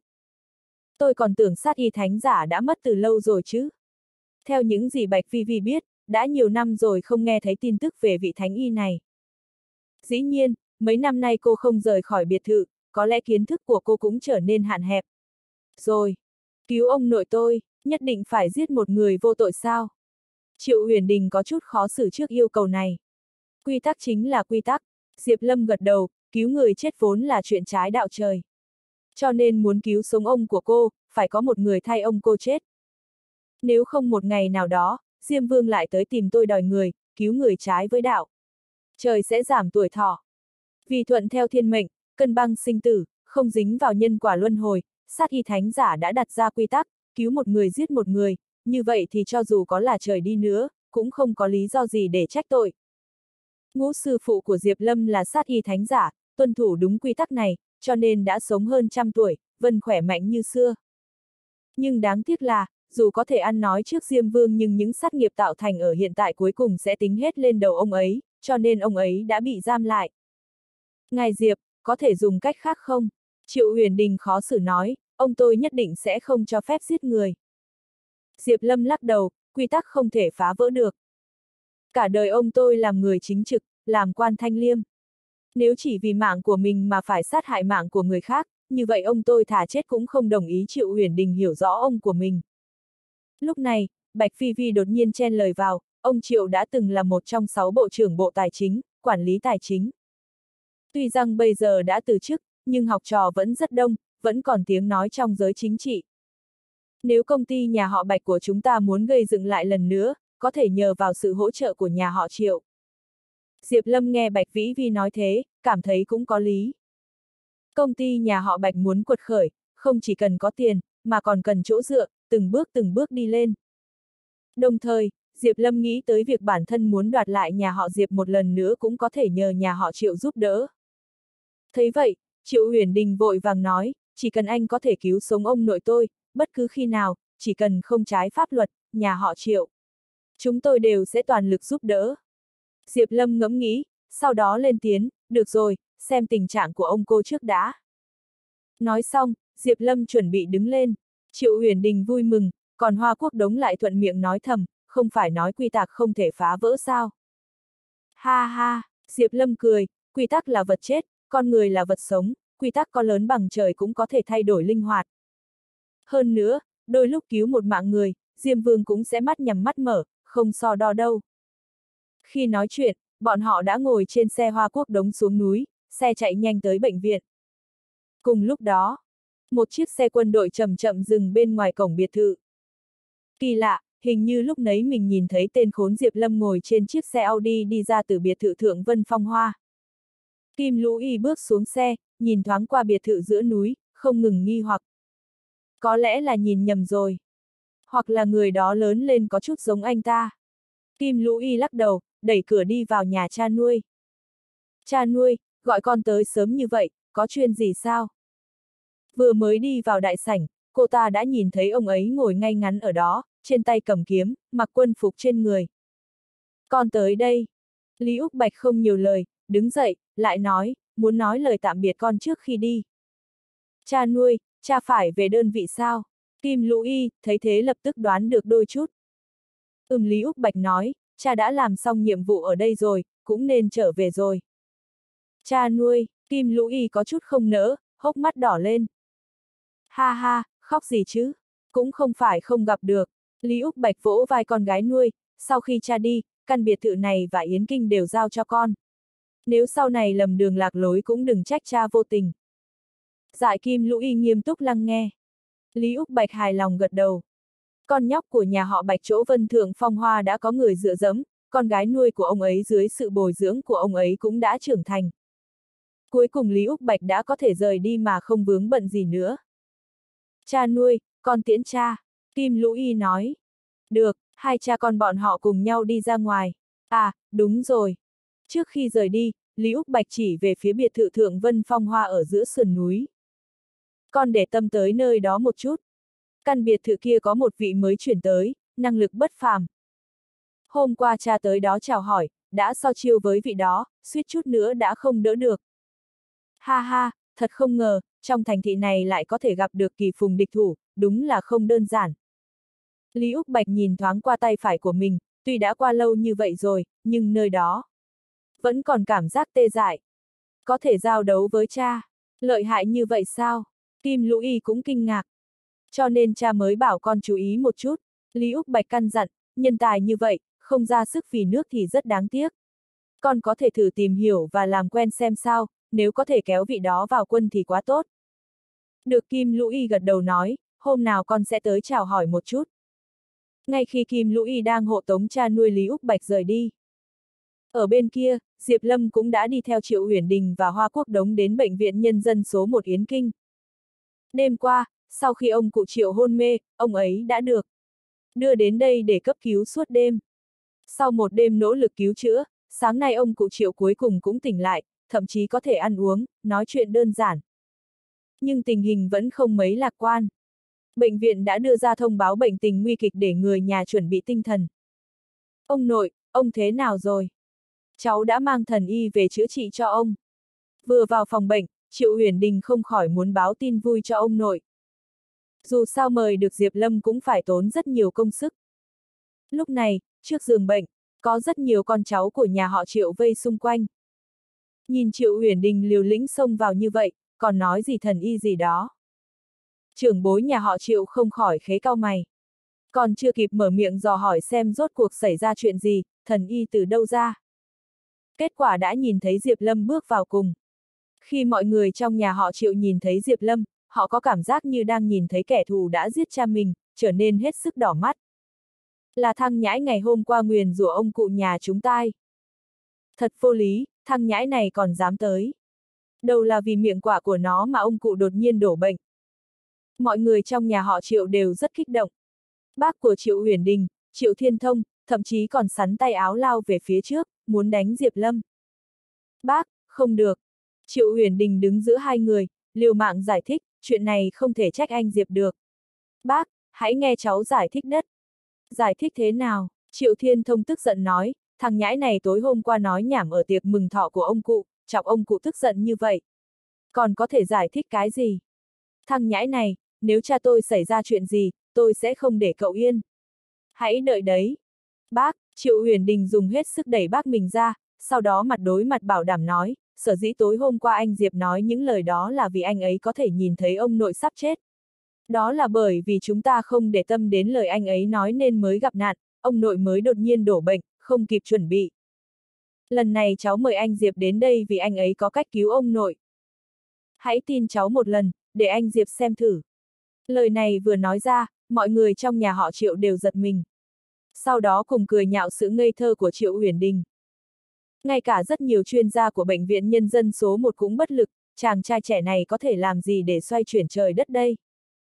Tôi nghĩ là cậu ta có cách để hại chết ông cụ đấy. Con! Trai cả Triệu Thiên Thông vẫn tràn đầy địch ý với Diệp Lâm. Uyển Đình, lúc này, cha của Triệu Uyển Đình, Triệu Bình Minh nói, con đừng gây thêm rắc rối nữa. Viện trưởng Trần đã đến Bệnh viện Y học cổ truyền Trung Quốc bên cạnh để mời Lưu Thần Y rồi. Bệnh của ông nội con cũng chỉ có Lưu Thần Y mới có thể cứu được. Lời còn chưa nói xong, cánh cửa phòng bệnh lại bị đẩy ra. Hai ông già khoảng 50, 60 tuổi cùng nhau bước vào. Một người mặc áo khoác chẳng là viện trưởng Trần của bệnh viện. Người còn lại mặc bộ đồ nhà đường không ai khác chính là Lưu Văn Cảnh, Lưu Thần Y, bác sĩ nổi tiếng ở Yến Kinh, hay còn gọi là Lưu Nhất Trâm. Lưu Thần Y. Mọi người trong nhà họ Triệu nhìn thấy ông ta đều bước tới chào hỏi, không dám lơ là. Khi Triệu Huyền Đình thấy Lưu Văn Cảnh, Lưu Thần Y cũng đột nhiên như nhìn thấy hy vọng. Nghĩ thầm mình đúng là quan tâm quá nên sẽ bị loạn. Có rất nhiều bác sĩ nổi tiếng ở Yến Kinh mà trong số rất nhiều thần y khác thì Lưu Thần Y là người giỏi nhất. Người ta nói rằng kỹ năng châm cứu của Lưu Thần Y xuất thần nhập hóa, có thể chữa khỏi bệnh băng châm cứu bất kể bệnh tật khó khăn hay phức tạp nào. Hóa ra đã mời Lưu Thần Y, ngay cả Hoa Quốc Đống cũng vui vẻ nói, hiện tại ông cụ Triệu hẳn là được cứu rồi. Ngay cả Hoa Quốc Đống cũng phải thừa nhận, nếu so sánh với bác sĩ Lưu nổi tiếng từ lâu thì cho dù Diệp Lâm có học. Được từ sư phụ Thánh Y sát nhân thì cuối cùng anh vẫn còn quá trẻ, có thể học được bao nhiêu kỹ năng từ Thánh Y chứ? So sánh ra thì bác sĩ Lưu vẫn khiến cho người ta yên tâm hơn. Thực xin lỗi, anh Diệp. Lúc này, Triệu Huyền Đình có chút xấu hổ nói với Diệp Lâm, không ngờ rằng người nhà lại mời bác sĩ Lưu, lại khiến cho anh mất công đi một chuyến rồi. Không sao đâu, Diệp Lâm bình tĩnh nói, cứ để bác sĩ Lưu chữa trị cho ông nội của cô trước, nếu không thể chữa khỏi, tôi ra tay cũng không muộn. Giọng nói của Diệp Lâm tuy không lớn nhưng vẫn truyền đến tai mọi người trong phòng bệnh nhỏ này một cách rõ ràng. Tức thì, lời nói của Diệp Lâm giống như chọc vào tổ ong vỏ vẽ, khiến mọi người tại hiện trường đều nổ tung. Tôi cảm thấy thằng nhãi này điên rồi. Dám nói nhảm trước mặt Lưu Thần Y. Cậu có thể chữa khỏi căn bệnh mà ngay cả Lưu Thần Y cũng không thể chữa được ư. Cậu cho rằng mình là ai? Tôi nghĩ cậu ta không có ý tốt, chỉ ước gì ông cụ nhà ta xảy ra chuyện thôi. Mọi người trong nhà họ Triệu vừa mắng Diệp Lâm vừa vội vàng trấn an Lưu Thần Y. Dù sao bệnh của ông cụ vẫn phải nhờ Lưu Thần Y chữa trị, nếu lời nói bậy bạ của thắng nhãi kia ảnh hưởng đến Lưu Thần Y thì mất nhiều hơn được. Thắng nhãi đó nói bậy, bác sĩ Lưu, đừng chấp nhặt với nó. Lưu Văn Cảnh nghe xong lời nói của Diệp Lâm cũng không có chút khó chịu mà ngược lại còn mỉm cười với Diệp Lâm. Anh bạn nhỏ này cũng học trung y à? Không biết cậu học, theo ai? Y học cổ truyền Trung Quốc chú trọng nhất đến việc kế thừa sư phụ. Khi Lưu Văn Cảnh thấy Diệp Lâm dám nói năng ngạo mạn ở nơi đông người đã nghi ngờ rằng có lẽ là anh ỉ vào sư phụ mình nên mới kiêu ngạo như vậy. Bởi vậy Lưu Văn Cảnh hỏi thăm trước để tránh làm tổn thương hòa khí hai bên. Đối mặt với vấn đề này, Triệu Huyền Đình dành trước một bước trả lời, muốn giúp Diệp Lâm chứng minh điều đó. Sư phụ của anh Diệp chính là thánh y sát nhân nổi tiếng. Cái gì, thánh y sát nhân ư? Tất cả mọi người ở đây nghe được tin tức về người này đều chấn động, không khỏi đưa mắt nhìn Diệp Lâm kỹ hơn. Triệu Thiên Thông cao mày nói, hừ, những ác y này có thể dạy dỗ đệ tử tốt đến như thế nào chứ? Triệu Bình Minh cũng nói, Uyển Đình, đừng để bị thằng nhãi này lừa gạt. Cha chưa bao giờ nghe nói thánh y sát nhân có đồ đệ. Đúng vậy, những người khác cũng đồng tình, tôi còn nói mình là hậu duệ của hoa đà đấy. Lúc này, Lưu Văn Cảnh cũng cười hỏi, cậu nói mình là đồ đệ của thánh y sát nhân ư. Vậy cậu có biết sư phụ của cậu mỗi lần cứu một người, ông ta đều phải giết một người. Chẳng lẽ cậu cứu ông cụ Triệu cũng muốn giết một người ư? Cái đó không cần thiết, Triệu Huyền Đình nói, ngài Diệp đã nhượng bộ rồi. Nghe vậy, Lưu Văn Cảnh cười nhẹ, trong lòng đã có đáp án, ông ấy khẳng định thiếu niên này không phải là học đồ của thánh y sát nhân gì đó. Không ai có thể phá vỡ quy tắc do thánh y sát nhân đặt ra. Nhưng vì điều này mà tạo nhiều sát nghiệt, cuối cùng dẫn lửa thiêu thân, than ôi. Lúc này, mọi người trong nhà họ triệu vội vàng nói, Lưu thần y, đừng nói nhảm với thằng nhãi này nữa, việc cứu người quan trọng hơn. Làm ơn cứu ông cụ nhà chúng tôi. Được, Lưu Văn Cảnh đi đến bên giường bệnh, tôi sẽ cố gắng hết sức. Ngay khi Lưu Văn Cảnh Lưu Thần Y đến khám và điều trị cho ông cụ Triệu. Diệp Lâm tò mò hỏi Hoa Quốc Đống, vị Lưu Thần Y này rất lợi hại sao? Dù sao Diệp Lâm ở trong tù đã 5 năm, trước khi vào tù cũng chưa từng đi bệnh viện, anh cũng chưa từng nghe qua nhân vật nổi tiếng như vậy.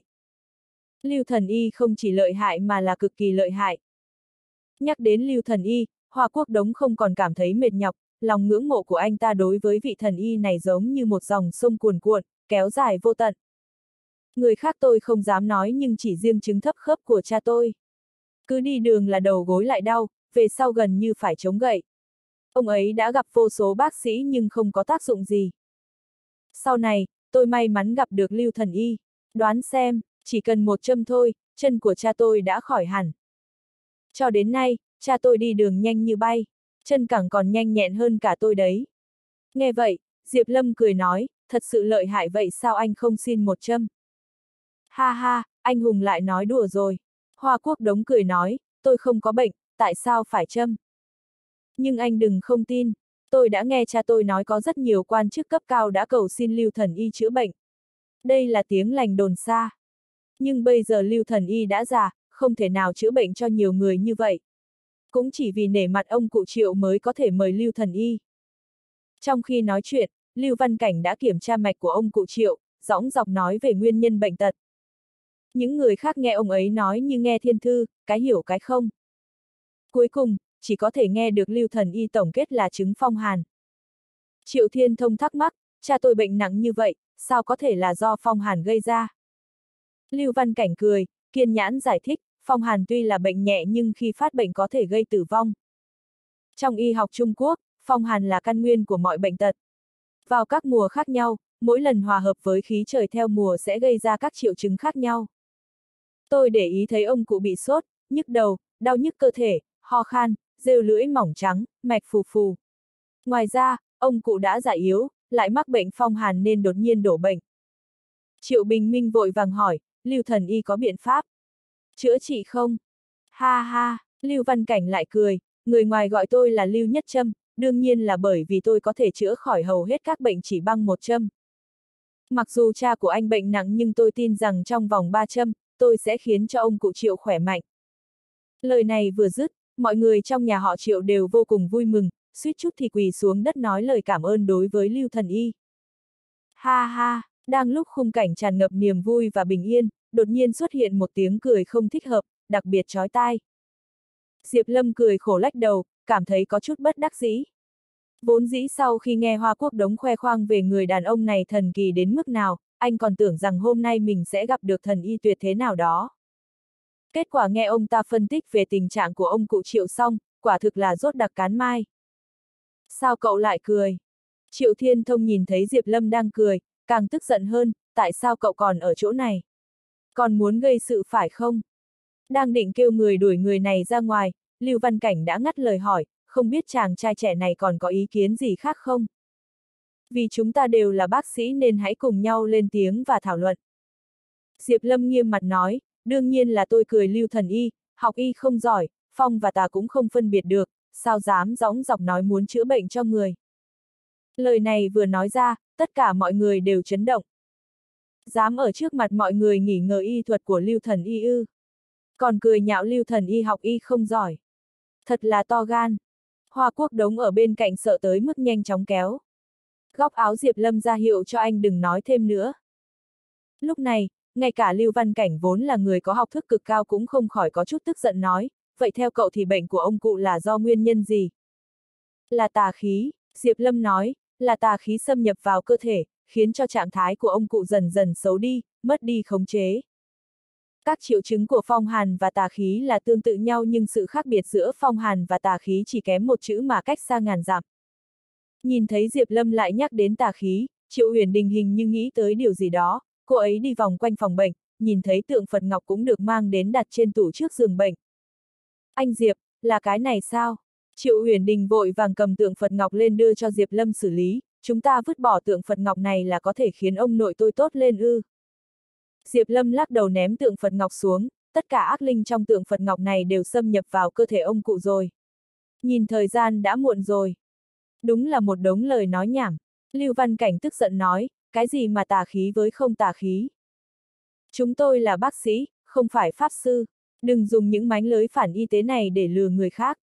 Danh tiếng của các bác sĩ trung y như chúng tôi đều bị hủy hoại bởi những kẻ dối trá như các người. Cậu đã nhiều lần nghỉ ngờ y thuật của tôi, cho nên hôm nay tôi sẽ cho cậu thấy, năng lực của Lưu Nhất Trâm tôi không phải là hư danh. Nếu trong vòng ba châm mà không thể chữa khỏi bệnh cho ông cụ triệu thì tôi sẵn sàng bái cậu làm sư phụ, nghe lệnh của cậu. Diệp Lâm cũng nói, được, nếu ông đã nói như vậy, nếu ba châm mà ông có thể chữa khỏi cho bệnh nhân, vậy tôi cũng bái. Nói xong, Diệp Lâm khẽ lắc đầu nói, không, ông không có tư cách làm sư phụ của tôi. Suy cho cùng, mỗi người trong số hơn 100 cao thủ của Diệp Lâm đều là người mang tuyệt kỹ. Ngẫu nhiên chọn một người cũng sẽ đứng đầu trong ngành liên quan.